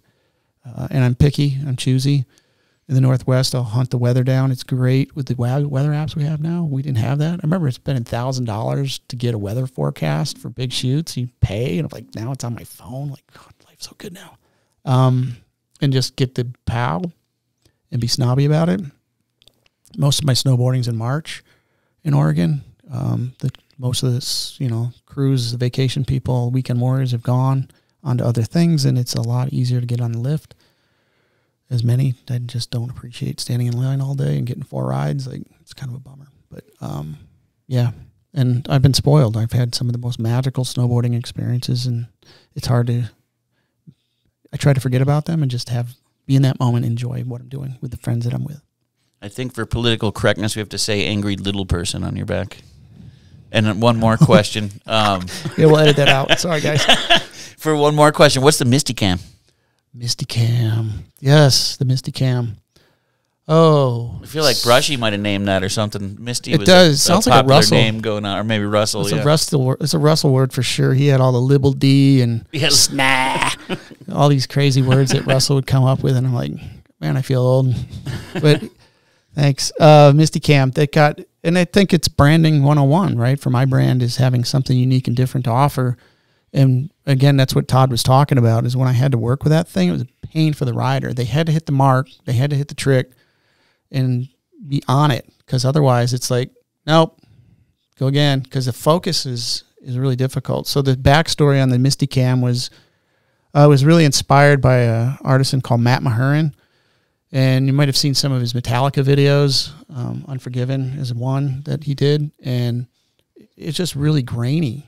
Um, even the new Batman, you know, I think if the film quality there, it's just not everything sharp and focus. It, you know, f twenty two. It's like, oh, I like f one point eight and there's this real select focus thing that just creatively was more inspirational for me and i wanted to bring that to life for our industry and be unique and different edgy that way and um, so i ended up engineering a camera so again back to one of my mentors, Greg Bertolini, at the at, during the GE days, kind of helped me figure out what to do. Because today you have a filter in Photoshop. Yeah. Click, dude, I'm an artist. Look at me go. Like, oh, come on, dude. So the Misty Cam, you had to engineer the thing. So literally, what it is, here's the secret secret ingredients. I'll have to kill everybody after we get done with this call because nobody should know what this is. And if you want to go forward and do it, good luck. It's a lot of work. But you end up taking a Sinar 4x5 camera. So it's a bellows camera that's usually used for architecture. And then I'd engineer, you get the um, 2X converter. And then I mounted that onto the, one of the boards on the Sinar back. And then I had a, I see a Hasselblad behind you there, and it was a 2000 FC. So the Hasselblad made that camera for maybe three years. So with Hasselblads are all leaf shutter, and this one is actually a focal plane shutter by Hasselblad. So it's not as desirable. It's a little clunkier, but for this project, it worked perfectly. And then I mounted that on the back, and then you had to focus. So then I had to get the, the focus deal, and then you actually had to do physical math because with the bellows, um, you had to measure it, and then that would tell you how much light is losing going through the bellows itself, and then you could kind of quickly make a math prediction uh, to get the first exposure. And then I'd add the red 25 filter because you want it to look cool and have that snap to it. And you'd put that in front of the lens, and you had to put a lens shade around that because now it's at an angle, so it's gonna flare, which could be cool, but it was really quite distracting with this with this setup. And then put a Polaroid back on the back, and then shoot it, put it under your armpit, warm it up, look at it, and see okay. And then that's when Todd's saying, "Oh, that didn't work. Go again," and I had to fix the focus. So it took a ton of work. Uh, I think I sent you a picture down with Natasza Zurek um, and a cheese wedge is Yes. what I call that one. Again, it's creatively different, and it's interesting how people had their image, their video image at the time, and how many. I'll just leave them nameless that wouldn't take that picture for me. Um, but I carried these Mickey Mouse ears and the Sinar back and a monopod. I used a monopod with that one and carried it up uh, Valle Nevado in Chile. So I had to fly it halfway across the world, carry it all the way up the hill, and then talk somebody into doing it. And Michael Jager helped me put the carve out the little holes in that picture. to make it the cheese wedge. Yeah, and it's like just using one of the words that we use is, "Hey, let's hit the cheese wedge." You know, it's like just what we talk about, but then taking it literally. So I think it's just one of those iconic images that kind of stands up to time. I remember it cool. in the photo annual, correct? Yep, Yeah. one of theirs, and just be different and um, unique and artsy and just more timeless. So Natasha was sport enough to kind of jump up on there and, and do that for me. Uh, thank you. Uh, I appreciate it. That was fun. And for those that didn't get to do it, oh well, you lost. Do you still have the Misty Cam? I do. It's found it in the. It's funny. My daughter was at the shop and we are just cleaning out the photo closet, and it's like twenty years of just stuff I've thrown in there, and she dug it out and what's this, and then you kind of have to tell the story. Um, Yeah. and it's great to tell it to your kids. That's For sure. amazing that you engineered a camera. That's really cool. Thanks. Yeah, Um, talking about Russell, I actually have a Patreon question. Russell. Yeah, this, this is from Buck Chapman. Give Buck Oh, yeah. Chapman an air horn. Hey, Buck. Yeah, Buck. And he asks, can you give us the backstory on the iconic Russell photo? Russell Winfield. Where do you pick up a story with Russell? Doesn't go south too quickly. Especially back back in his youth, right? that guy could party. yeah, he could party. Oh man, love you, Russell. Um, Ru- Russell, like it's funny because he was on the B team. Like he wasn't always invited to come to the shoot, but he was always in the background. So he definitely pushed the generator up the hill. I guarantee he's pushed that generator up the hill to get in front of the camera. And then um, he was on Mistral, and even back then it was like Mistral ran, uh, whatever. But he was getting sponsored, so he's moving his way up the ranks um, uh, with that. So again, it's it's just another one of those things where we dragged the generator up, had the Novatron, we had Stroby Wan Kenobi, and um, I could take anybody off the hill and make them Stroby Wan Kenobi. Like I actually made a a target on the top of the light box, and they just keep that target on the rider, so they would move as the rider would move to make sure the light hit them. Because you put it on a tripod, it doesn't follow the Oh wow. right? So you're just thinking ahead and how they could help and get free help. Um, and then Russell, um, he's got that Jordan thing. I don't know if you've, him and Todd had this Jordan thing where they, the tongue would come out and they you could tell a real good athlete because they're completely absorbed in that moment and all of their man, you know these reflexes go and they just start to relax like that, and then, But then the tongue's hanging out. tongue hangs out, and they had wicked style on that shot for sure. And then, um, and the rest is history for Russell. Was that the same shoot as Brushie, It was one of the yeah we probably or just maybe just the same? It was a night shoot at Stratton, I guess. Well, it's probably with Jeff was probably there that day. We probably did, you know, we probably did that every weekend that we could that we do those shoots. They and, would then, just be up there doing it. Uh, and I think it's because again because it's dark, dark. Because that was one of the earlier shoots because we started learning we just shoot at dusk and then get that synchro sun going, and um, so that was one of the later shoot earlier shoots is because we shot when it was dark. yeah, dark. his shots has a darker background, huh? Yep. And again, it's like um, we were learning too because um, wearing lighter clothes, so we had that sunset beige um, sweatshirt. So it was cold. Too bad. Yeah. Can't wear your ski jacket. You got to get in a Gotta get the better good shot. lighter lighter shot so we can see you. You know what I was thinking about earlier when you were talking about um, how we don't have a word for a powder turn, uh, the feeling. Uh, my first thing that came to head, I was, my head, I was like, "Ask Russell. He'll come up with something." Yeah, he'll come up with Yeah. something. skadoosh or something, or come up with some type of. Oh, we call that a skadoosh. Skadoosh. Let's make a contest and put it up on Patreon Let's for you. get a, get a good word for that. I Well, can't let's believe there isn't. Let's run through a couple other iconic photos while we talked about that one because there's also the one I really want to get into is Trevor Andrew doing the air to fakie with all the Mm. people around him. What's the story behind that? Trevor Andrew, that guy. Wow, he caught me off guard. I wrote him off. he, he got me, man. He tricked me. Yeah, you got a little young kid from Nova Scotia on the Burton shoot, and We were in Valle Nevado in Chile. You're at about ten thousand feet, and it's a it's a full heyday of Burton shoot. So every alpha shooter is there, um, and they're on the deck. So I think we had Zacher was there, um, Curtes. Those guys were all. I mean, it was like that's what I loved and was always intimidated by with Burton. Is they always jam you with the best of the best, and you got to float. Um, good for them, and it made all of us better for sure.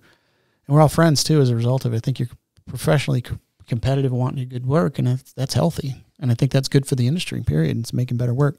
What's interesting with that one is like the um, Pat Malendoski. Shouts out that guy, man. He can make them. He made everybody look good because he would put the time and energy into making the best kickers, and and that was no exception. And that was a um, Jared Eberhardt was working for JDK at the time, and the creative director, and he came up with that idea of the Tyvek suits. And then we kind of populated it with uh, items that we could, you know, bring up on the hill. So you see the shovels and some of the photo gear, and just try to make this over the top um, situation happen. And then Trevor dropped in and did that air to fakie, and all the rest is history. So I think for me, creatively, it was like everybody was on the deck shooting because you see Curtes is on the deck shooting, and you can see all the other guys, and their shots, you know, they're good. But I shot, I shot with a 200 back and just let it kind of fall horizontally, and then let it just flow, and it worked out better. So again, there's probably for Burton to pick, you know, there's probably eight different shots, and I got the best one, so I'm the winner that day. Amazing. Sidebar too, uh, all of the photos that we're talking about here or that we've talked about on the show, if you go to bombhole.com, we're going to have a gallery with the story below it uh, of all of Trevor's photos. So, Sweet. sidebar, we should get into another one, which is um, the Dave Yeah, Dave Downing, Downing on the wire. on the wire. wire. Great story of just sticking to your vision and not following the herd. Maybe that's the, the headline that we'll use here. Again, that was a Burton shoot we did down in Valle Nevado, Argentina. So to get down there, you guys made that trip yet? Uh, no. yeah, it's a I long haven't. one, right? Yeah, it's a long journey. long journey to get down there. They party hard down that for sure, and it's um it's worth the excursion if you can get down there. but that was um heyday of Burton and then the heyday of sequences, burning film like it's going out of style, and there's no disrespect to um some of the other shooters, but they were down on a on a tabletop, and there's like they're all just like from where I was standing, they look like ants there's a ton of them just hitting, doing the same trick over and over again. And I'm sure that book that was handed in to Burton was, you know, this thick with a bunch of the same sequence doing the same thing. And what um, Dave Downing and I and Marcus Egge saw was a there was uh, the trick is that I'll start with this is that's real. I got hate mail. It's weird to get hate mail from people. It's like you Photoshop this. You shouldn't be deceiving people that way. It's unauthentic and and I'm like, I didn't. I didn't. I saved the letter. I have it somewhere, but it's like what? And I got three people calling me out. Like what? It's real. Come on, Dave will not lend his brand to doing something that's fake. And to Dave's credit, he would not let me publish that photo unless he stuck the landing. And so we'll give shouts out to Dave for just, you know, wanting to do it the right way. And then the backstory, what you don't see behind the scenes, is there's a avalanche and it took out the ski lift. And the ski lift fell down on top of a ridge of the roll, the natural roll in the ski resort. And it set it up so that this the wire from the actual ski lift was on the snow. But we couldn't get to it um, you know, we tried to make a little jump and then get on it, but the second you hit it, it kind of does this thing, and you couldn't couldn't hold speed. And again, Dave wanted to make sure it was a legit trick, otherwise, no publishing. So we ended up literally spending, I want to say it was probably five hours making an in run uh, about as long as a football field. So we're literally there with our shovels, skipping lunch, just dig, dig, dig, dig. Um, because we could see that it could happen, but it took that much work. And then you're going to come back to Burton. I'm knowing that I'm going to hand in a book this big with four photos because it's going to take me all day to get to the one. And and sure enough, it did, and it worked out well because that photo uh, still looks cool today. I've seen maybe one or two other folks have been able to get up on a on a ski lift wire with their skis or snowboard yeah, it's tough. Everything kind of lined up for us to be able to get that shot, and um, it still stands up today. I think it looks pretty cool. And you skipped the whole other shoot to make that happen. Yeah, just knowing there was other photographers Yeah. there anyways. Uh, yeah, they'll get it cool Yeah. and, it, and it's it's on Dave too. Again, it's like you know, it's like he he committed him his time as well to just go okay, we're going to get this done, and it's trust I think on his part for my my skill sets. That oh, Trev's going to get it. We're going to get the shot. I'm, it's worth me spending all day working on this one shot. We'll get it. we and it would definitely run today if that happened. Yeah, it's cool, Yeah. right? Like it's like it just makes you look and think. And how did he get up there? And did The he way fall? above the mountains too. Yeah, and there's still chairs on the on below Yeah, to you let you know that it's a scary a ski lift. And you know what Jibber hasn't thought about it. Like, oh, I'd man, I'd love to hit that thing. And It's like video game. Thought. totally, Yeah. like it's a Tony Hawk kind of thing. Where, Yeah. yeah, and it worked. And um, Dave actually did the trick probably three times solidly, and that was the best out of the three. And he definitely uh, didn't.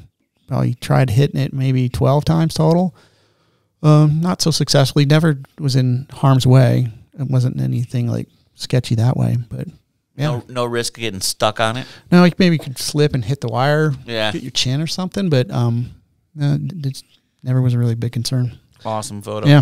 thanks. Last photo I want to talk about is the self portrait of Noah Brandon. Noah Brandon. Um, you know, it's funny with GoPros, and you guys don't know, but there's a GoPro here in the shot right now. But man, that changed the world. Those GoPros, man, it just made everything possible. So that shot looks like a GoPro shot, but it's not. So again, it's back to engineering and thinking about doing stuff different, and then really working working tools that aren't meant to do that and make it do what you want it to do. So what you see there is Noah Brandon, and again, one of the most underrated snowboarders of that time. He lives here in Salt Lake too. Like, Yeah. he was, you know, I should probably look him up while I'm here. And he um had to ride with an F, I think it was F five with a motor drive. So that's probably what eight pounds, but eh, let's say five, six pounds. So you got f- that much weight on a monopod, and he's holding on to it. And then we had to lay on the ground with this. All right, you're going to go up and you're going to do this trick, and then we had to figure out the angle on the ground. And okay, hold it here. Don't. This is where his his natural style would go. That's it. Don't let go. And then he drops in, and then he'd go up, and then he, you know, he'd be in the position, and I'd have a remote control. So today it's a pocket wizard. I see you have one on your desk. It's Yep. like cheater. Makes life so easy, right? Yeah, it makes it makes it pretty easy. yeah, well, they didn't have pocket wizards back in the day. See the gray hair? Yeah, I had to figure this stuff out. I so wish I had to do that pre Pocket Wizard. Yeah, I wish I had patented it. I would have been a millionaire instead of not. But he, it was a Polaroid. Um, so again, when I worked at General Electrics, what they had was um, Polaroid had a a radio slave basically, but it would operate a slide projector that was in the ceiling for the CEO to give presentations on the company. And so I took that tool and then I re-engineered it and then made it work because you had to put the inputs for the camera and then you know on the side there they had that one for the mon or for the um, they had a digital um, plunger right? And so I literally took the wires and spliced them together taped it up made it work and then sent him in the air with it. So he had the camera and then this Polaroid pocket wizard deal and then you'd hope he wouldn't fall because then you wreck the camera, you wreck the Polaroid. It'd be an sensor. expensive, It'd be just expensive situation. And I think we end up using 16 mil wide angle lens on that one and send them up in the air. And so you'll see actually Blue Montgomery's actually on the other side of the shot, and then Noah, and then in one shot I think I'm in it. I'm on the cut. I'm on the deck shooting, so I'm I'm in there um, shooting it, and that was all by design at Boreal's Pipe, um, late season. Dude, that's crazy. You engineered a pocket wizard before there was pocket wizards. Dude, I'm so dumb. I should have pocket. yeah, you, was you right there, man. yeah, you did it. That's Got all mad dude, that's crazy. You can come garage. up with that stuff. Yeah, uh, to like know that it would work. That's you're smart, dude. Don't trick yourself. Welcome to the Pub Beer Crap Shoot.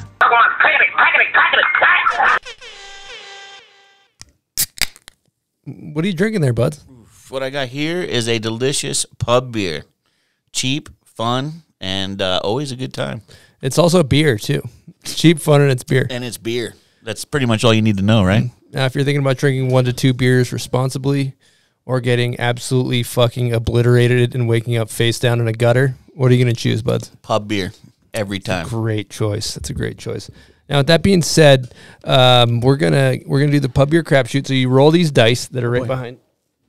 Yep, you got them. You only need two, of them. Two of them. All right, got two. Whatever it lands on, we'll tell you what you got to do.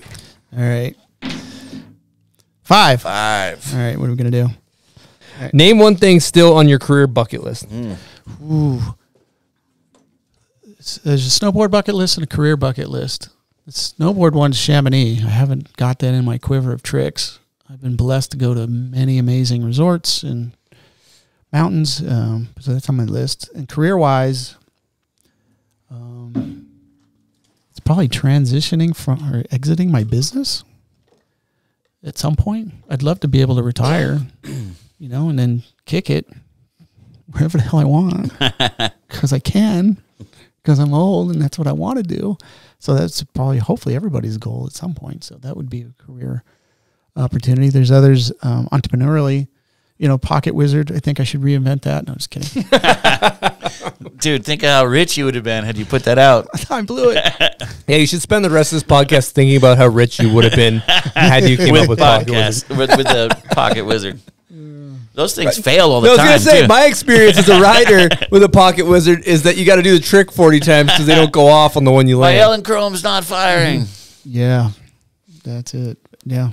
True story. So I know over the course of your career, you spent some time down south in New Zealand. New Zealand, if you all get to go, put it on your bucket list. It's an amazing, amazing place. It's so beautiful. Uh, it reminds me of Oregon in a lot of ways. But I think the probably the story with New Zealand is it was sort of the um, extension of the TG business, the Trevor Graves photo business, was taking the game to New Zealand. And what I would do is I'd set up production houses basically. So I'd go down, I'd rent a house. Remember the one that I had was right over there's a you know the bungee was starting to take off so aj hackett bungee so we had a house that just kind of oversat the canyon and oversat the bungee jump and then right there in queenstown so sell commercial packages to the brands and say hey bring your team down i'll babysit them i mean i'll shoot them professionally and then we'll go and get the goods for you so it'd sell week packages uh, you go for a week and then you bring the next crew in the next crew the next crew and then um, that would be your summer revenue because is the, the not genius thing about being the best snowboarder in the world is the seasonality of it. That hit me. It's like, oh, August is here. I'm out of we're out of editorial money. Damn. Uh, and that was the answer, um, just out of pure necessity of trying to keep keep the lights on. And then you'd get to bring people in, like name it. They all came through. So when I when you first said it, I remember having I did one shoot at the house where I literally would just take the deck It's ten by ten deck, and I would force myself to have to shoot portraits in that small space. So I remember having Billy Anderson in, Noah Brandon, Rocket Reeves, uh, Dale, Sweeze. I mean, you name it, they would all come through um, and and hit up in the houses, and, and we'd go snowboarding in New Zealand. What would people pay for the week? That's secret. I really can't go into those kind of details. and actually, what I'm saying is, I don't even remember. You don't even know. It's like it just went. But you were booked all summer, I pretty was, much. I was busy working. Yep, for That's, sure. that's a smart move. That's really cool. The place is amazing too because it's summer here, so you go out of like su- full summer mode, and all of a sudden you're packing your board bag, and it's you know 80 degrees where you're living, and then you show Mhm. up, and it's always like kind of like a fun vibe whenever you go to New Zealand. But all of our, you know, friends here, it's not. It's very frowned upon, especially is back it? then. Oh, and I remember getting pulled over. Well, there's two pullover stories. One's Rocket Reeves getting pulled over.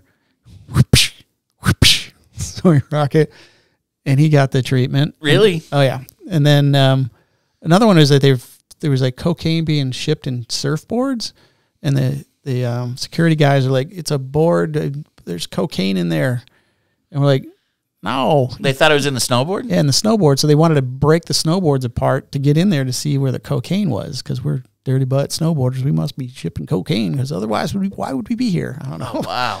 And and talked them out of that. I end up doing a lot of that actually. I'm gonna talk our way out of stuff just to keep it moving. But But they gave Rocket that treatment on just a pullover, huh? Or Yeah, is at the he- airport? Yeah, he um, you know, he uh, engaged before he got on the plane Oh. and set the dogs off, Mm. and uh, the rest is history. Rest is history. That's his dinner story. yeah, that was before they had the fancy X-ray machine, the body X-ray machine. I imagine. Yeah, maybe they were just bored. I don't know.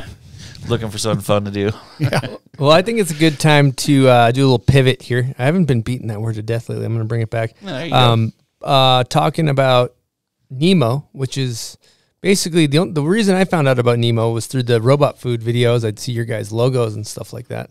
Um, and you started a design firm. And before we get into that, we have a guest question from Mark Lewman. Oh boy. Here we go. Hey, Trevor. Mark here. Longtime listener, first time caller. So, you run a design firm called Nemo.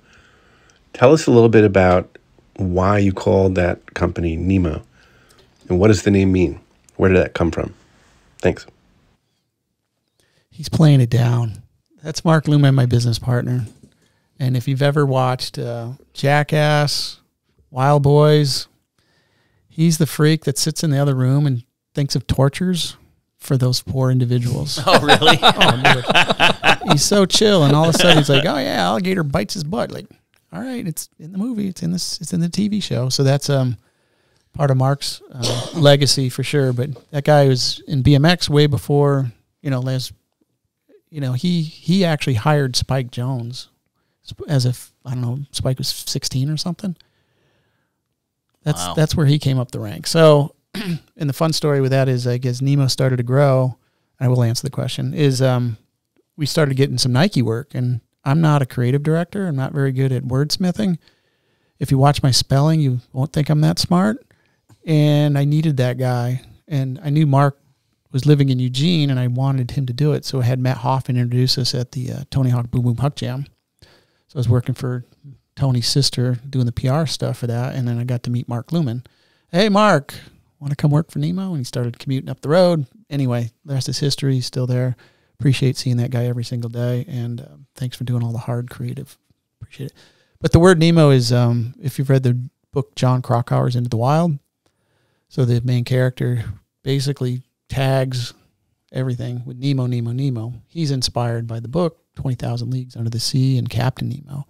And actually, what's interesting is Lake Powell is way down. So the one in the story is he goes in, there's a, a hut, and he carves Nemo, Nemo, Nemo into the wood of the door frame. And I'm wondering if that's out of the water now. Oh wow, yeah, flooded the, it. the and- water's down. Yeah, the water's down. So I want to go out and grab that piece of wood because that's where the name Nemo actually ended up coming from. You better do it before this podcast comes out. Someone else is gonna. Yeah, go and get it. Maybe get it and sell it to me and make a bunch of money. All my uh, pocket wizard money. But the um, but the other one was the um, you know, the Nemo too is like at the time, you know, Wieden and Kennedy, who does all Nike's great advertising. It sounds like a lawyer, and it's sort of egocentric. It's about Dan Wieden, nice guy, no disrespect, just the way they did it, but it just didn't feel right. It's like, hey, if I'm going to get the best creatives in the world to work for me, why are they going to work for Trevor Graves? You know, just sounds stiff. Yeah, like a firm, like you're saying, a lawyer firm. and it just isn't us. And I have friends that are lawyers. Sorry, guys, but it's like you know, it's just not how we wanted to do it. We really wanted to make this collaborative agency, and the in the entrepreneurial opportunity then was like you had the either the big agency like a Wieden and Kennedy that did everything, or you know you didn't have something to do just the cool creative. So that's what we wanted to be was just this part, and it served us well for whatever twenty three years now.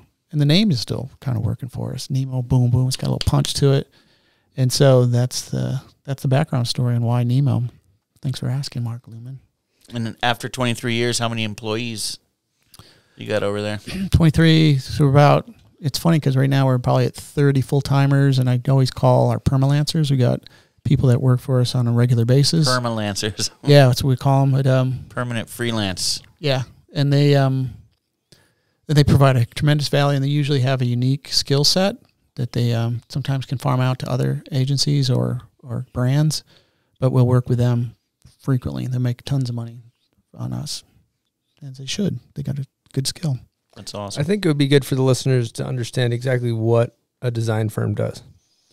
Yeah, if everybody's out again, we've learned today that to be a photographer out of college is probably the least paying job. The third worst, sad. the third worst is the designer.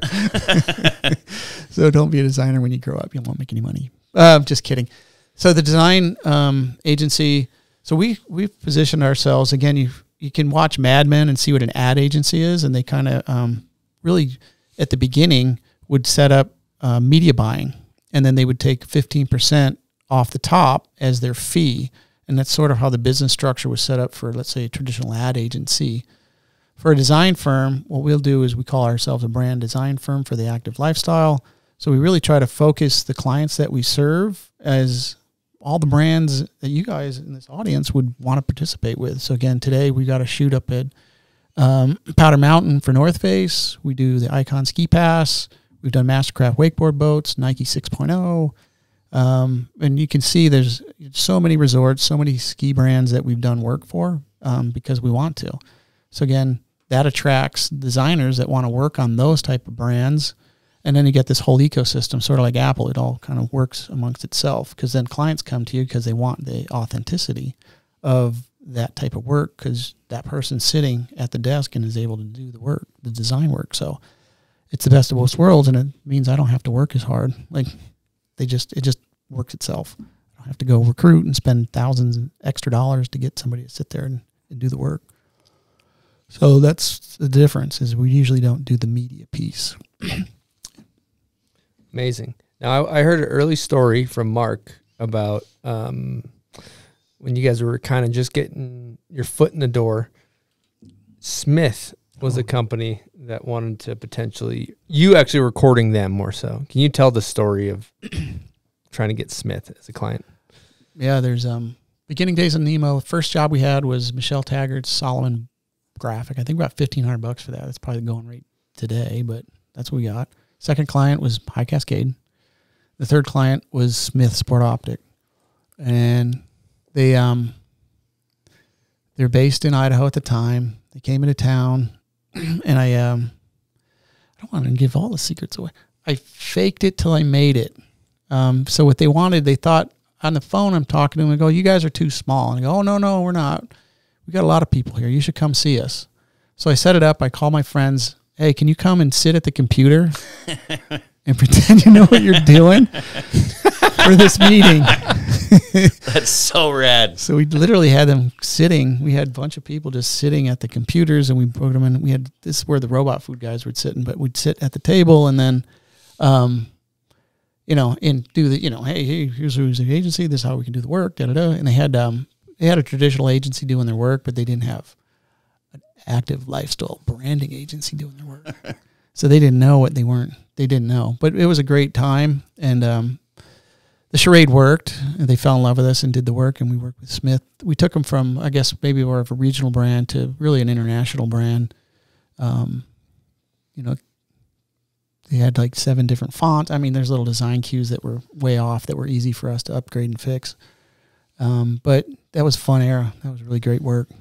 That's incredible, dude. Just putting You guys are too small. Just like call a bunch of your buddies. Hey, can you just like come punch away at a keyboard and pretend like you're working? bring your computer from home, set it up here, Yeah, that happened. They'd get up and walk around once in a while. And yeah, act like they're all busy working on stuff. cue, cue the deer. That is incredible. So you guys at one point went from I think it's 2005 to 2006. You went from 13 people to 70 people. yep. Um, how is how is that? Um, what's the what's the business term for that? Um, Exponential, Exponential growth. growth, yeah. yeah, exponential Um, growth. Yeah, again for everybody. Scaling was what I was thinking of. Scaling, Scaling, yeah. but yeah. So there's there's some numbers again. So if I'm sure if I went to business school, I probably would have known these numbers, but maybe it's a good thing I didn't because you just young and dumb, and you just do it anyway. Figure it out. Um, so again, for us, it, what I've learned since this experiment was if you grow, let's say 20, 25% each year, it's sustainable. But if you grow, you know, 100% every year, it's not sustainable. And what you're going to expect is that people are going to quit. The client will fire you. I mean, because you aren't able to pro- provide the service at 100% of the quality that you can when you're properly staffed for the work. And even like, again, when big agency, big company like Microsoft will interview you, they're going to make sure that you're not going to, you can handle their work. Um, because if you don't have the right staffing, they see it. There's so much experience in these failures. Um, and I set us up to get beat down. um, so I've talked ourselves into um, doing Nike.com. Nike.com at the time was the largest flash e commerce site in the world. And our job was to populate the infrastructure of the website with all of the branded content um, for the experience for the end consumer. And you had to move into digital. It was starting to be a thing, and we were ready. We're doing it. And so, literally, probably two weeks, two weeks into the project, the digital team that I had quit, started their own agency. Oh wow. Like, oh, good for you. And I'm still friends with those guys today, but it was like, oh, okay. And then, um, and then it was like, you know, game on after that. Hard, hard life lessons of like never, never being able to perform properly enough. So would I do it again? Probably. Good thing, bad thing, who knows? It was um a definitely learning curve. But um, and again, again, what's what is success? how big do you actually need to be to be successful? It doesn't think more isn't always better. I think our society thinks more, more, more is success. And it's like, I've learned the wisdom is like, this is enough. This is, this works. This is great. I have enough time for family, friends. I'm making enough revenue. I can put stuff away for when I retire. Um, and I think today, as a result of that, is like, I know what works. And that's why the size of the shop is what it is today. Love smart. that. Sidebar: uh, was listening, was listening to this podcast with Jeff Kearl, who is the founder of Stance, and has more money than uh, he's also founded Skullcandy, big entrepreneur guy. But it was I think I've said this on the show before. I apologize if I'm repeating myself, but he mentioned that um, you know this guy's got more money than you know what to, he knows what to do with, you know, and he's like I boiled it down to one thing. I just enjoy going to an office with a small group of people and making something cool. Yep. And and if that if you can just think of your company as that, and I that's what Budz and I do with this. It's like you just think of it. It's not like there's that that misconception that once we hit this much, then we're gonna be happy. And I love that kind of. Uh, you just kind of shot that theory in the foot. Well, you grow to your point of least effectiveness. It's called the Peter principle. And what it ends up being is like I got a guy Jay Floyd. Hey Jay, I hate you. He um he's been with me for 23 years and for good thing bad thing, we'll see. No, I'm just kidding. But it's like the um if I was to promote him to VP, he'd fail and he'd have to leave the company. I'd ultimately end up firing him because he wouldn't be able to perform. But as an art director, dude is top notch. He's the king but he knows that's where his sweet spot is and he'll stay in that zone. Um, so that means he probably can't get to the 250K price tag, but he knows what he's good at and that's what he can do and he's comfortable at doing that. So we've had those conversations for And sure. he's probably happier, yeah, he's happier and, and he's, he's not being set up to fail and all that. yeah. And so it, it is um, The Peter principle, huh? Peter principle. It's a real thing, I guess. Harvard, somebody, I don't know, smarter than me figured it out, but I've read about it along the way. Read about it in a book. Now, uh, sidebar question: You guys are a firm that basically a company comes to you and says, "Hey, we want to do an ad, or we want you guys to come up with a concept for our launch for our fall line, or whatever the hell this shit is, right?" Yep. And so a huge part of that is creativity. Okay, let's let's spin the wheels and figure out how to come up with a concept for this ad. How do you guys foster creativity over at Nemo? Yeah, we have um, a big HVAC system at the top, and we just push weed into it, and it just permeates across the building, and people get creative. Microdosing works That's, a- too. that's a I've good idea. We should, we should get that at the ball. Just blow weed in the vents. totally works. Trust me. Take that one to the bank. Put that right next to the pocket wizard, and we'll call it good. Bingo. I it you know with creativity, I think that's the thing that gets you know starving artists for a reason. I don't think people give that creative enough creed, and how to nurture it is really kind of the magic uh, to be able to keep it repeating on itself. And it is people again. That's what's hard with this pandemic is everybody gets locked away and pushed away from each other, and yet it's when the best stuff happens. I'm sure you've all been on a Zoom call, can't wait for it to end. And yes, I'm glad that it happened and the technology was available when it was and all that timing is great. But I much prefer a live interaction. And that's when you start getting this fast back and forth. And that's what we want to make happen. I, when I look at our building, it's really just a creative hub. It's just a resource for people to collaborate in. So there's a photo studio. You can go in and shoot. You can, you know, get over in the conference room. There's big whiteboards. You can just stick stuff up on the wall. There's these big printers, like a bunch of stuff for just tools that people can just get get creative on because that's ultimately what the client's paying for is this creative solution. It's just, you know, when I watch Mark Lewman do it, it's like he makes it look easy. In his process, I don't know if we can make a map or we can patent it, but he comes up and it's like poof, like he solved it. Whoa, it was took him one second. I'm sure you've all heard that plumber thing. Guy charges you two hundred dollars an hour. He comes in, tweaks one thing, ten minutes, and you still got to pay him two hundred bucks an hour. Why? It only took you two minutes, like because it took me thirty years of knowing what to do, right? And that's Mark Lewman's story and his creativity process. Like, um, he'll always come up with something. We always call it a luminism um, to get us get the client to where we need to with the with the next campaign. Luminism. Luminism. I love that. I think it's a fascinating concept because creativity, you know, a lot of people, it's like, you know, how do you get where you're going? It's hard work, you know, hard work. And, and I think you do actually have to apply yourself. There has to be effort applied creatively to, to get good. But, and as far as fostering inspiration, that's a whole other thing. It's like cataloging and fostering inspiration to me is, you know, for artists, even for us, we have a little line of clothing, and you're like, oh, you see something, you're walking, you're like, damn, the- you see that? Take a photo with your phone. That's thing's cool. Like, eh, but I don't know. Fostering inspirations is a fascinating topic. or just giving the giving the platform just to do it. Um, we definitely had like Frenchie, one of our guys, did a big art show. Um, again, creativity. We've done a bunch of board graphics where we just give everybody like, okay, here you go, you get the board graphic. Go. I think I got I, I want to say 500 graphics over the years. You've done? Not me. I'm terrible. I did a T-shirt once. we could talk about that. Just for a couple Nemo's done 500? Yeah, Nemo. Jeff Bartel's been the main guy on the, on the board graphic front for us. But yeah, That's a lot of lots graphics. of graphics. Now, what do you think the key ingredients are to the success of Nemo? Um, definitely that ventilator trick. Weed in the vent- weed in the ventilator Weed in system. the HVAC. Um, trying to think of it as like one word, and it's probably just authenticity. Um, you know, you go in these companies; they always have their company mantras and manifestos, and up on the wall, and it's sort of it isn't really it isn't really authentic in some ways, in my opinion. But for us, it says authenticity is everything on the front door, and there's a big cool placard our buddy Leo made, and then it um it's a lot of this action sports credo, right? Like you can't fake any of the tricks that we're doing. You could die doing the tricks. You gotta you gotta show up and be a present. You can't fake it. And that credo still comes through in us as leadership for our company and the people that want to work there, want to be part of it, even if they're not action sports people, like our accountant, still wants to be part of that because it feels like you're um, authentically connected to a group of people as a tribe and not um, another wheel in the cog. Hurry up, make it faster, or I'm going to fire you. It just doesn't exist in our building, and that as a team and a whole unit keeps people around. It's interesting is the tenure, like um, turnover.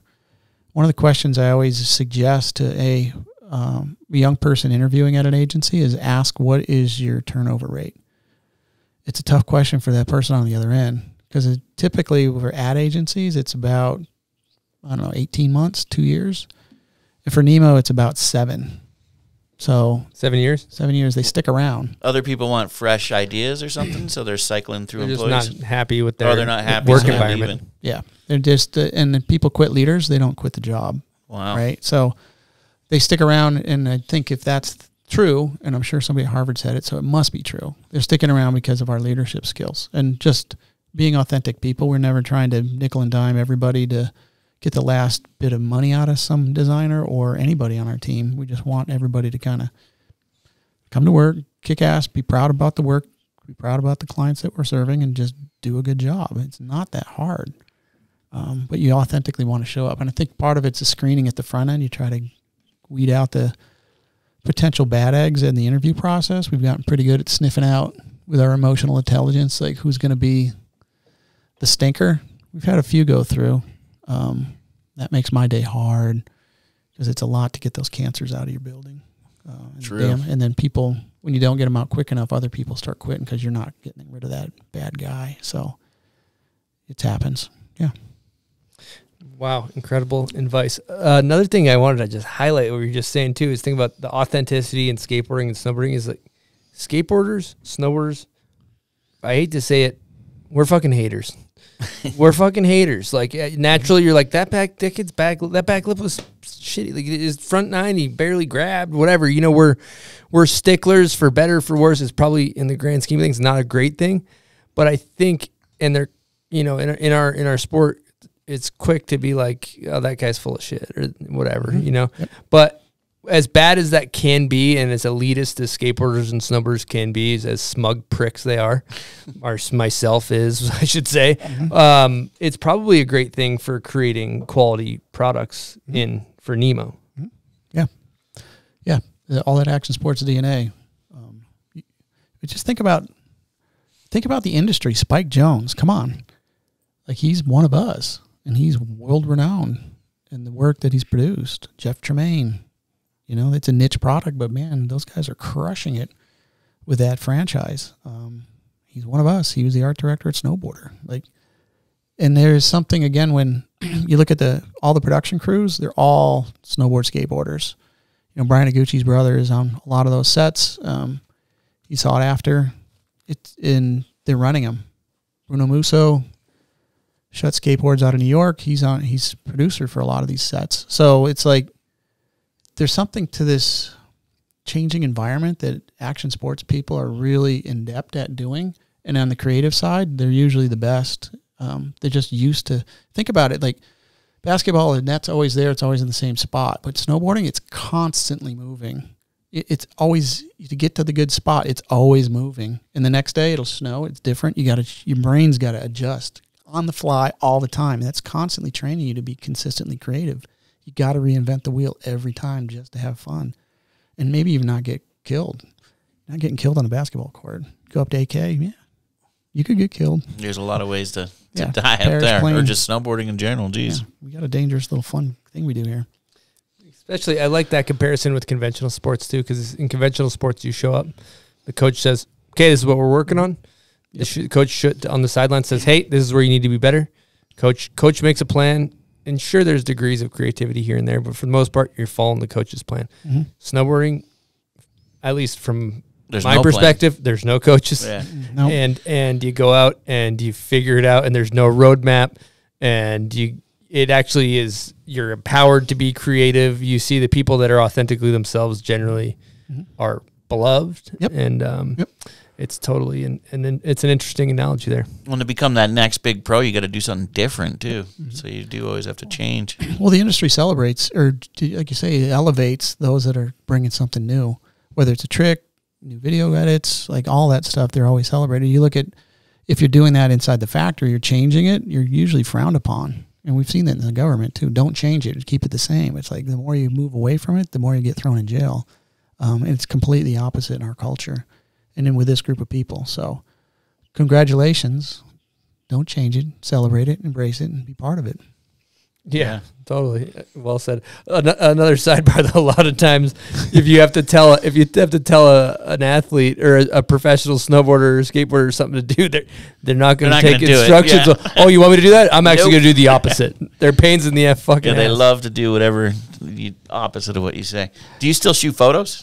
I do. Nice. Yep. How can you not? Right. Yeah, it's true. so fun. It is part of the, when I look, wake up. I look at myself as a shooter for sure. Um, but again, bidding. You know, am I a shooter because I'm not getting paid professionally to shoot the North Face thing today? Probably, but nah. I still think like a shooter and looking stills. And every time you're driving, you're framing stuff up constantly. I'm sure you guys do the same thing. Yeah. I'm waiting. Uh, my wife and I will joke is the uh, we got the app and it's the uh, Magic Hour app, and we're always guessing how many minutes until Magic Hour. Oh, really? And for those that don't know, it's that golden sun at the end of the day. It's when you want to shoot pictures because they look better. Um, but There's actually an app it. for Magic Hour. Yeah, look it up. I want to check that out. Yeah, makes life makes it um, yeah, fun. But you don't shoot campaigns for Nemo? Nope. A few reasons. Again, it's like my my role and job has changed, and I think it's smarter to bring in people that are experts that do the job better. Again, like Josh Letchworth for shooting. I can shoot wakeboarding. I do okay. Um, but again, if we bring in the expert that gets in the water and wears the diaper and it floats, like we're going to get better stuff. I'm Yeah. not that guy, so I have to realize there's a limitation of where I'm going to be contributing um, for the success of the campaign. Sometimes we can make more money if I shoot, but it sometimes is that's not the right decision. Who's the right person to shoot this campaign? And that's we're always trying to push the client to get the, the best, whoever it is. Sometimes we can't afford them, um, but we're always looking out for that.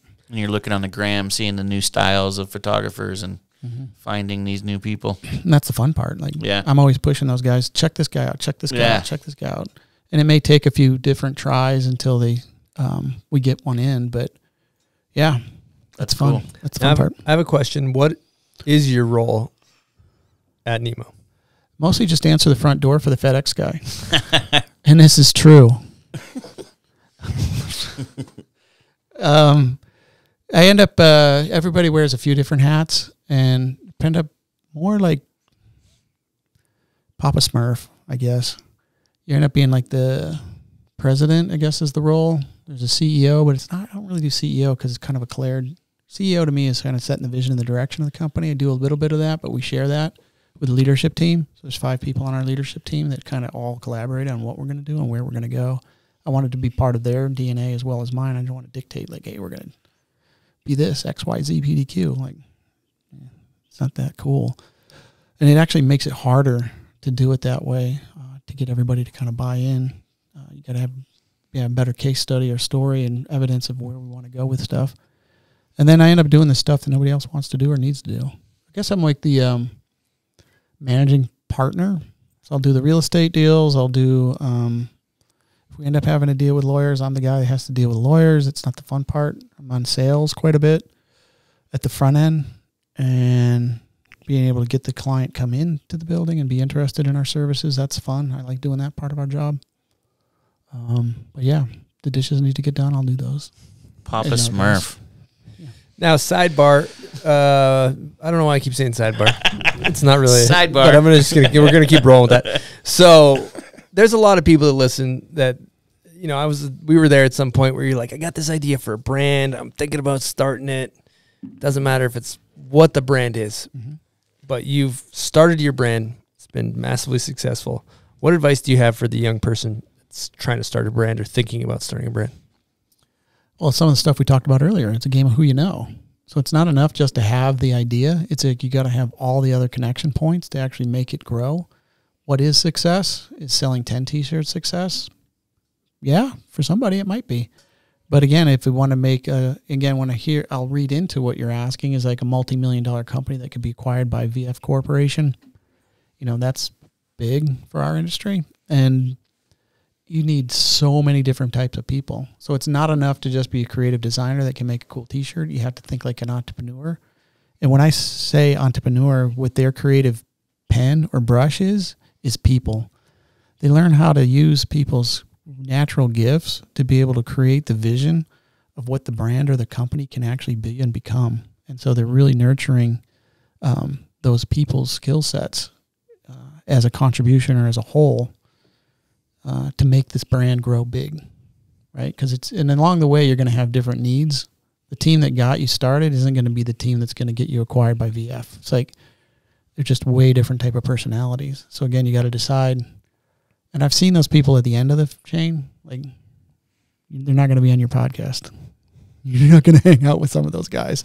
They're necessary for business. I get it, but um, yeah, I don't usually hang out with some of those guys. They're definitely, yeah, they're into money, like, and sometimes that's all it needs to be at the end. But I don't want to have to play there.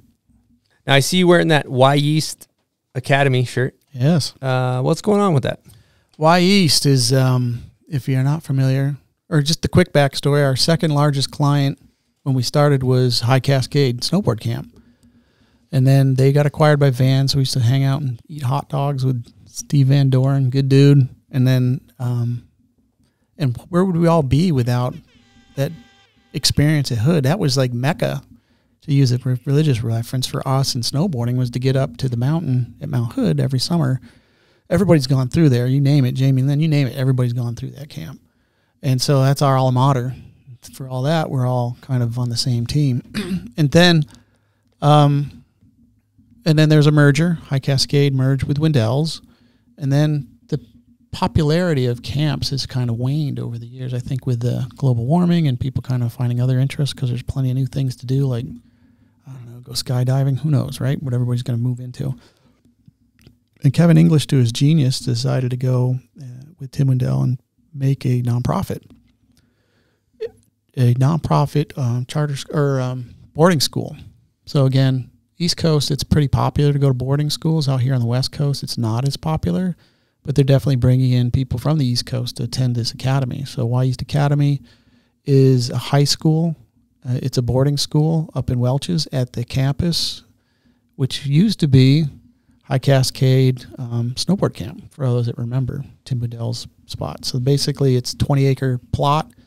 It was originally had like a hotel motel kind of set up on it, and they've retrofitted it to be this, this school. And again, there's a lot of hoops legally. Again, you have young children. There's a lot of legal hoops that those guys have to go through to be a certified school. They've gone through all that. They have all the right people in place to be a school. and think about how cool it is. It's like people, purpose, and passion is sort of what they're thinking about. I know for you guys, it's just for me, the best educations I've ever gotten is on the road. You know, how to deal with money in Italy, like, you know, language, cultural differences, all that stuff humbled me and made me a better person. And this is what they're able to bring to their their contingency. So you have right now they've got a lot of let's call it skiers, mountain bikers, skateboarders, and snowboarders that attend their univer- their camp.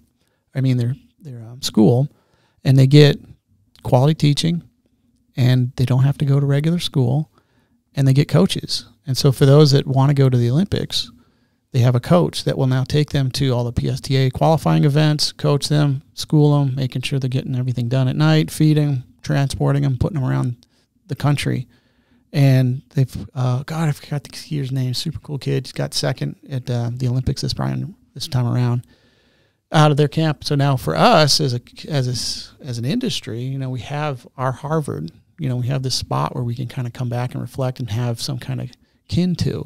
And so that's my part of it. So I sit on the board of directors with Kevin and team and try to help advise and give resources to be able to help grow this idea.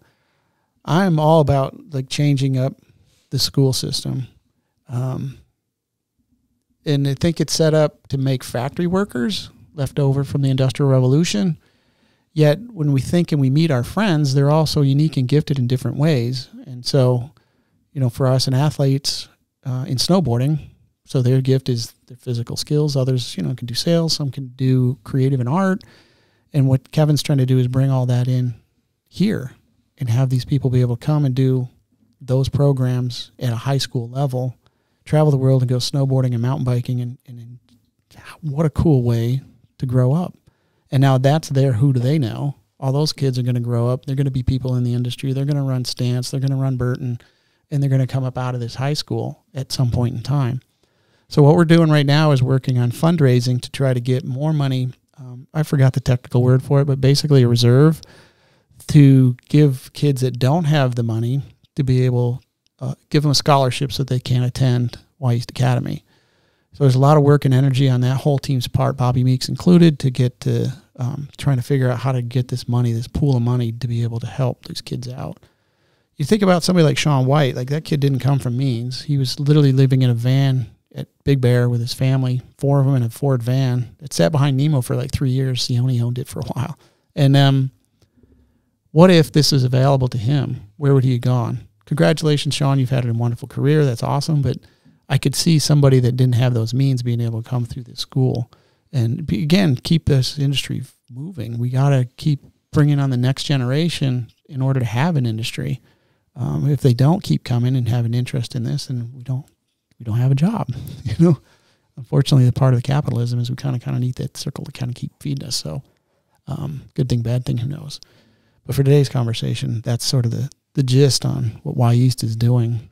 Love it. I wish I was able to go to school like that. Dude. What's funny too is you meet all these people in snowboarding that have these skills. They didn't get any of them from school. It's like you're either naturally a sales guy or you're an mm-hmm. artist. Yep. None of it came from the drilling they did on arithmetic or hmm. or anything, you know. So it's a. I mean, you look at Trevor Andrews said he ninth grade he was done with school, and it's just look at look how he's done for himself. He also mentioned that he would uh, basically like mail T-shirt graphics to West Beach via the mail, and you know, and had T-shirt designs getting made because of When snowboarding 14, when he was 15 and st- things like that. And it's amazing how snow you can go to school for years and be a graphic designer and never once see a brand make one of your shirts. But if you're in the snowboard world, you can kind of surpass Connect those that. dots, yeah. It's kind of like being able to go to Hogwarts, but for snowboarding, huh? Dude, I'm going to steal that. totally stealing that idea. Take it. Thank yeah, you. and the coaches there are ripping snowboarders too. I know yeah, I mean, you got Bobby Meeks. He's just Yep. a big kid too, and Yep. loves snowboarding. And it's good to see, like you were saying, in the pan- pandemic, they just thrive too. Mm-hmm. When you would think maybe camps would be going out of business, so it's nice they were able to recreate Yep. And do that. Yeah. Pivot. Do they take old people? I'd like to go to this academy. Yeah, go back for your uh, your GED or something. Yeah, something. Let's go. We'll make it make an exception. You know what's interesting? Sidebar too. I notice a lot of the people that sit in that chair that have been like really successful on their snowboards tend to all have supportive parents that are like, "W- "Yeah, we got you. We'll back you." You know, common theme, and that's what's cool. Is like if you're a supportive parent, you want your kids your kids into snowboarding, send them to Wy'East. It's fucking awesome. he made another connection too. A lot of the really good athletes had an absent father too, True. which maybe gave him some drive. Yeah. Also, Unfortunately. Yeah, and and even that's the best of the best. even another one if we're going to talk about creativity i was watching this documentary a sports doc about the the greats like the true greats it was like um, wayne gretzky uh, jerry rice and, and what they all had in common and there's a lot of players that got really good at a young age and they got they got they're phenomenal players but what separates the the good nfl you know, NBA players, etc., from the greats was unstructured play. So, for example, Wayne Gretzky would play out on the pond. He'd play pond hockey, and he would play this game where he'd shoot into a trash can, and he'd play with his friends. And when you play with your friends, there's no coaches telling you what to do. Mm-hmm. So you start fucking around like how skateboarders do or mm-hmm. snowboarders Basically do. having fun. And so you had that creative mindset of, you know, creative thinking on the ice. How can I be creative to get the puck where it needs to go? And what is skateboarding? What is snowboarding? It's creative thinking when you're not coached. It's how do I figure out how to backflip this rail or whatever it is? How do I get a more beautiful clip that nobody's ever done? How do I do this thing differently? Um, and I, I don't know. It was just fascinating to me. yeah, it's interesting. Yeah. Maybe we can manufacture the next. That's what they got to figure out Unstructured at play. play. Uh, weed smoke coming out of the, The billowing vents. out of the vents. Billowing. Pocket wizards that don't ever get manufactured. Or But break. They never break. work. Yeah, they That's the never. They actually work for you. all right, let's get into hot takes. Hot takes. First thing first, we always ask MJ of snowboarding, both male and female. Who you got? You know, I'd say Shaun White, and there's a few reasons I'd say Shaun. Um, he's he you know he gets dissed in our industry because of his competitive nature and he's kind of a loner in a little bit in that way but he's a super nice guy when you get right down to it i've always enjoyed him and and the raj and his brother and his mom it's like they've always been part of the road trips but um he, it's like when you got to drop in and some of the tricks that you're doing without a bag remember that big red bull pit there's no bag in there for him to learn that stuff and then unfortunately for sarah burke she paid the biggest price for progression and didn't make it that was here in Utah too, right? Yeah, it was at Park it's City, I think. So, Yep.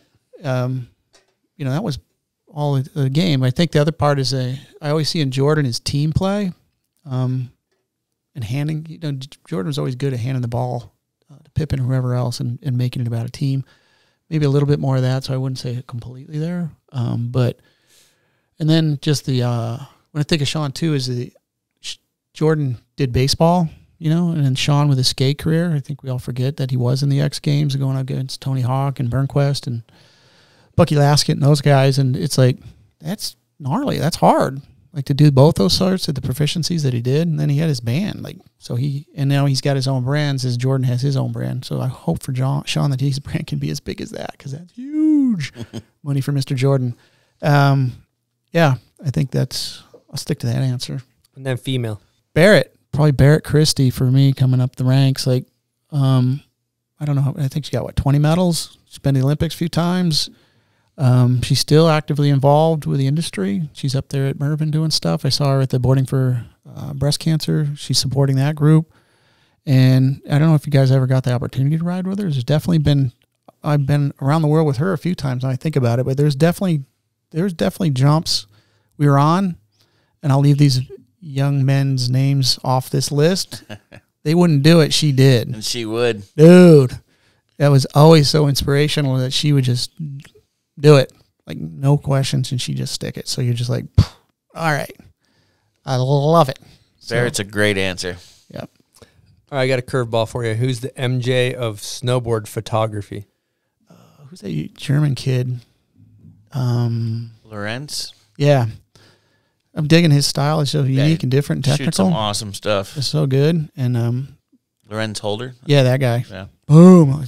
He has like, that one iconic shot of like that big, s- looks like a space dish Yep. or something, and there's a snowboarder doing like an air to fakie.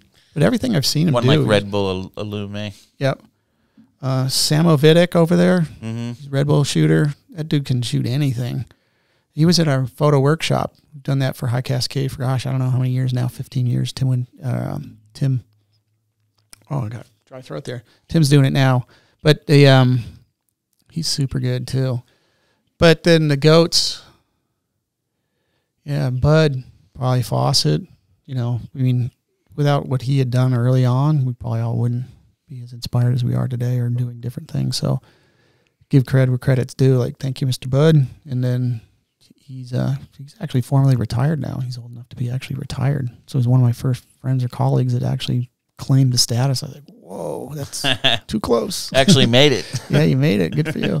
And I love that he's putting up his stuff on Instagram, all the historical stuff. So if y'all get haven't been following him on Instagram, get up there. Bud Fawcett. Awesome. Okay, who's got the best style ever? Um, you know, a lot of people reference Jamie, obviously Jamie Lynn, and just the, I think it's really representative of that era in grunge, just the strength and the power of which he would get through anything, and then obviously the method errors that he would pull. Amazing. There's a shot I didn't send down, but him at Baker, that's just another stomping ground for him. He's always got good style. And then I always liked Dirksen, you know, in a POW and just riding with that guy. So smooth and quiet and in control when he's riding and just a good, just a good human being um, to be around. So style also includes just post your turn. You don't want to make it all about athletics, but just him as a human and individual. And then um, style, yeah. There's so many people with good style. I think those two are very, very Yeah. solid answers. Great answers. I love the Dirksen one too because we get a lot of we get a lot of Jamie. Um, okay, best board graphic ever. Um, mine. No, I don't know. There's um, I've got three pro models. You know, Oh yeah, it's With true. your photography on them. They're Trevor Graves pro models. Capita gave me one. Really? Yeah, with that Dale tongue shot on it. Oh, sick. yeah. That's right. dope. I can't even do a five, and I got a pro model, bitch. Um, these, you know, I, I have, I probably even let people know that this board's at my building because I'll probably break in and steal, and that may be a compliment, but I'd be bummed. But the Brushie fish. Yeah. So I got his 92 U.S. Open victory board at my office. Wow. Yeah. The victory board. Dude, he's, yeah, he flowed me. I should probably get some certification thing from it, but that one's pretty tight. That was um real cutting edge at the time, just putting that fish on there. And his inspiration, I remember to Jager, was just bringing a sticker from, you know, A bass shop or something. yeah, just yeah, just some hardware store or something back in the day in Vermont, and then that inspired that board. And I, I think they just did a re a reissue for it or something. So, um, I like that one. I thought it was pretty cool. And before that, the graphics were definitely not headed that direction, huh? Now it changed it up quite a bit. Yeah. Okay, if you could go heliboarding with three people just for fun, good times, good turns, who are you taking? I love this question. And again, there's always that networking question. If you could have dinner with anybody, alive or dead, who would you have? You know, it's, it, I kind of take it that way. Yeah. But I'd feel the I'd feel the bird a few ways, and and how, and I've and it makes me think about how I've had the privilege of flying with a lot of people. I got about I think about 150 hours logged in helicopters. Hey, did you know there's two kind of helicopters? Two kind. Those that have crashed and those that are about to, because they all go down. Is that the true story? Dude, it's like I've almost gotten killed in those things. Seoane was in one of them. We were in Juneau. We almost went down. And I know one of the dice thing is like pooping your pants or something, but I peed my pants on that one. You did. You actually Oh, yeah. peed your I pants. peed my pants on that one. You were that close to going down. we did. We were falling. We were in Juneau, Alaska, sunny day. You know how it is when the sun finally comes out. You're like, "Fuck, we're gonna get it. And we um they switched out our pilot. So instead of having let's say a Vietnam era pilot, which Alaska is famous for, Mhm. we got a medvac pilot. You know, very, you know, doctory looking lawyer kind of guy. Sure, he's proficient, but he didn't understand mountains and wind shear and what a cornice is. And he put the bird down on top of a cornice and it broke. So Sean Dogg's getting it out. He's literally like stepping out and then it cracks and we start vertically falling off the mountain. And below you is literally salt water. It's the, it's the sound. And I just, you know, little tinkle came out. Wow. Thought we were done. And then he hits the bird and you know, hear that engine just whack, whack, whack, whack, whack, whack, whack, whack. We pull up out of it. You're It's like- supposed to do what they call a toe in, right? Where you Well, yeah, you're supposed to be in. You kind of just hover and don't Yeah, set down. You don't sit down, and he did. And then we he should have been he should have been probably 10, 15 feet in on the dirt, not on the cornice. But Yeah. he didn't. Just he put it right there in the yeah, big I always Abbey look safe. Like, dude, just about killed Dave Seoane. That would have not been cool. Wow. Uh, so, and who would I put in the bird?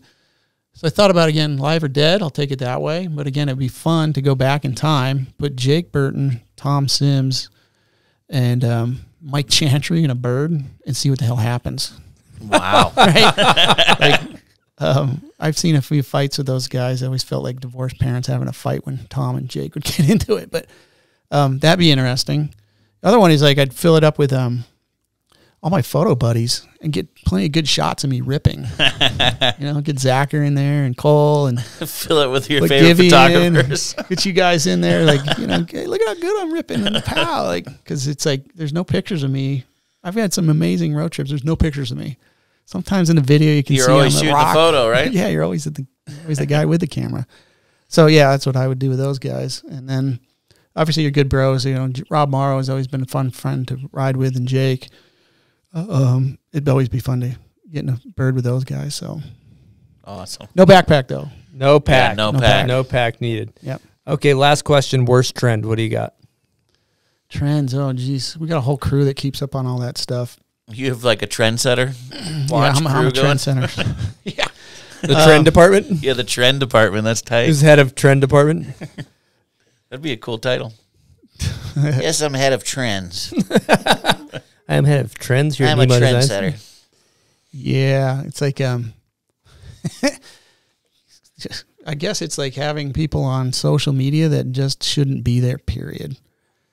You know, it's, it's like um, we've watched through the pandemic, and it's just it's a whole other political conversation we have at dinner. But I think there's this again back to authenticity. There's a responsibility as media people to be have your shit dialed. When people get on that thing and they don't know what the hell they're talking about, and then it starts going the wrong way, it's so irresponsible. I think even as let's call our little industry is snowboarding. I remember like one guy split up a sequence and sent it to both Transworld and Snowboarder, and got called out and fired. And You don't even know who he is anymore. He got he got lit up in can because he just didn't do it right. Wow. And um, yeah, it's just like you know anybody can like it's like not anybody can be a doctor, but it feels like we're in an environment like oh, anybody can be a doctor. It's like anybody can be a media coder. It's like no, it's just some responsibility in what you do. Um, I wish it wasn't so sloppy. Love that. Good answer. Okay, we always ask our guests uh, what their setups are. What board are you riding? Bindings, all that. Two boards uh, depending again you got to pick the right tool for the right conditions right? So when i go pow dirksen gave me a um, six stick with McFetridge graphic on it so it's a little bit older but i got um, uh, um, the burton cartel bindings on it and i got some burton boots. I got some nike boots that i wear too. And then i got my uh, we'll call it my just my regular board it's actually a Palmer. I forgot what it's called. It's high end. It's like a fifteen hundred board, PCX seventy five hundred, with the step on, the Burton step in binding. So that's what I use when I go to Bachelor or up to Hood or just riding resorts. I get lazy. It rides pretty good though. It's fine. I've heard those are coming a long way. So They are. It's like like a little clicky noise, but it's like again just just ripping around with your friends after work. Like it's fine. It's fun. So those are my two setups. I'm sticking to it. It actually helped design that graphic too, by the way. So which one? The Palmer one or Yeah, the the Palmer one. Nice. The Palmer or the step on? you know, the Palmer one. I got some free step-ons early on though. All those guys they hooked me up, so it's like cool. I still got some flow. Still getting spawns. I still have a good time making fun of those things, even though I'm sure they work great. Um, Wait till you get to be yeah, you get to fifty and we'll have this conversation It again. creeps. Okay, It We'll have a special bombcast about you riding those bindings and boots. Okay. And I'll tell you, I am famous for eating my words. Like every, everything I talk shit on, fast forward two years. So true, I'm just, I'm like all in on it. So yeah, I will be in step-ons in about two and a half years. That's a fact. Um, also, what's next? What do you got next on the docket? Next is um, summer's finally here. Can't wait. Uh, vacations. Well, next here is like I'm leaving right now, going up to um, Powder Mountain to shoot the North Face stuff for Nemo's one of our clients. So we'll get up there and shoot all the campaign work for holiday. So that's happening pretty quick. And then um, fun stuff. I don't know. It's like I'm in such locked pandemic mode, dude, and it just like it kind of slows you down in a weird way. I've been, you know, I used to flying all the time, and now it's like Portland got a whole new wing of airport I didn't even know was there. I'm like, wow, where the hell am I? Salt Lake's got an amazing airport. Where would you go? Where should I go? Just went to Mexico and went surfing. It was awesome. Yeah, let's go down and check Squeeze's place out in Mexico. That'd be cool. What's he got going on down there? He's got a um, like a yoga retreat kind of place, surf Oh, kind of place down there in the Baja Peninsula. So that's pretty sweet. Christine Sperber's got one down that way too. I don't know if you remember her from Mhm. back in the day. She was first down there. Michele Taggart's place in Costa Rica. Jan Roy, been down there with the family. They got a whole thing going now. That's Uh, nice. All the snowboarders just getting these little yoga retreats and Yeah, good on them. You got yeah, to move. living the sweet life. Yeah, Eat fish tacos, do some Yeah. yoga, get pounded by some waves. It's Sounds great. awesome. could be worse, right? Yeah. All right, one more thing before we get out of here. We always ask our guests thank yous. Do you have any? Thank you, Dad, for giving me some good advice on never settling and following your passions uh, for the work, uh, the work career. Appreciate giving a little horn there. Yeah, big old air horn. Thanks, pops. And um, I thank my business partners for putting up with me and just being a great partner at Nemo. Um, Jeff Bartel, my business partner, I've seen, I've been, he's been my brother now for, he's the one adult I've been around and been with more than anybody in the world in a weird way if you actually add up the hours. So thank you. I totally appreciate that.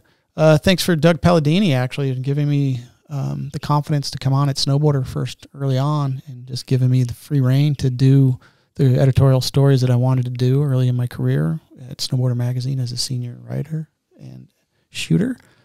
That was really an inspirational part of my career. Um, thanks for the wife putting up with me and all the uh, hard hours that I do put in. That um, yeah, it must be hard to be around me. I guess. Hopefully not. That's all I could think of. There's so many, you know, and you think about all the riders that have just put up with all the shoots that I want to do, um, and just being there, and then them being passionate about making their careers happen. So they're wanting to be in front of the camera, you know, with Brushie, Jason Ford, uh, Noah, Andy Coglin, um, Eric Webster. Even I don't know if you guys know him. He's here in town, but he's let me stay at his place early on. All that stuff helps. All those little things early on totally make these uh, paths in the road that help you get to where you want to be and successful. Um, thanks Danny Kiwi Meyer for putting on the Crystal Awards. Like that helped me close the end of my photo career and ultimately being what I consider the best photographer. When you're if you haven't seen that contest, it's all the best shooters in the world get together in Switzerland and go head to head and and they vote for whoever is the best and I got to be the best that year. So check got that that 12 year old kid made his goal uh, and he made that venue uh, possible for me so thank you Amazing. Well, I'll tell you what, it's been a great chat with you, Trevor. I want to say thank you for coming on the show, first of all, and thank you for everything you've done for snowboarding. We really appreciate it. thank you guys for what you're doing i think the composite is uh, should be in the smithsonian at some point to represent what we're doing Evel Knievel's there tony hawk's got to be aboard there like this should be there representing us as an That's awesome. you guys got a lot of there's so many of us as a community that are, are being represented what you're doing here so it really is awesome keep going thank you Much appreciated. And lastly, I do got to say thank you to our sponsors. Thank you to our Patreon members. And of course, thank you to everybody that listens or watches our podcast. You guys rule. We got another podcast coming at you next week. Over and out from the bomb hole.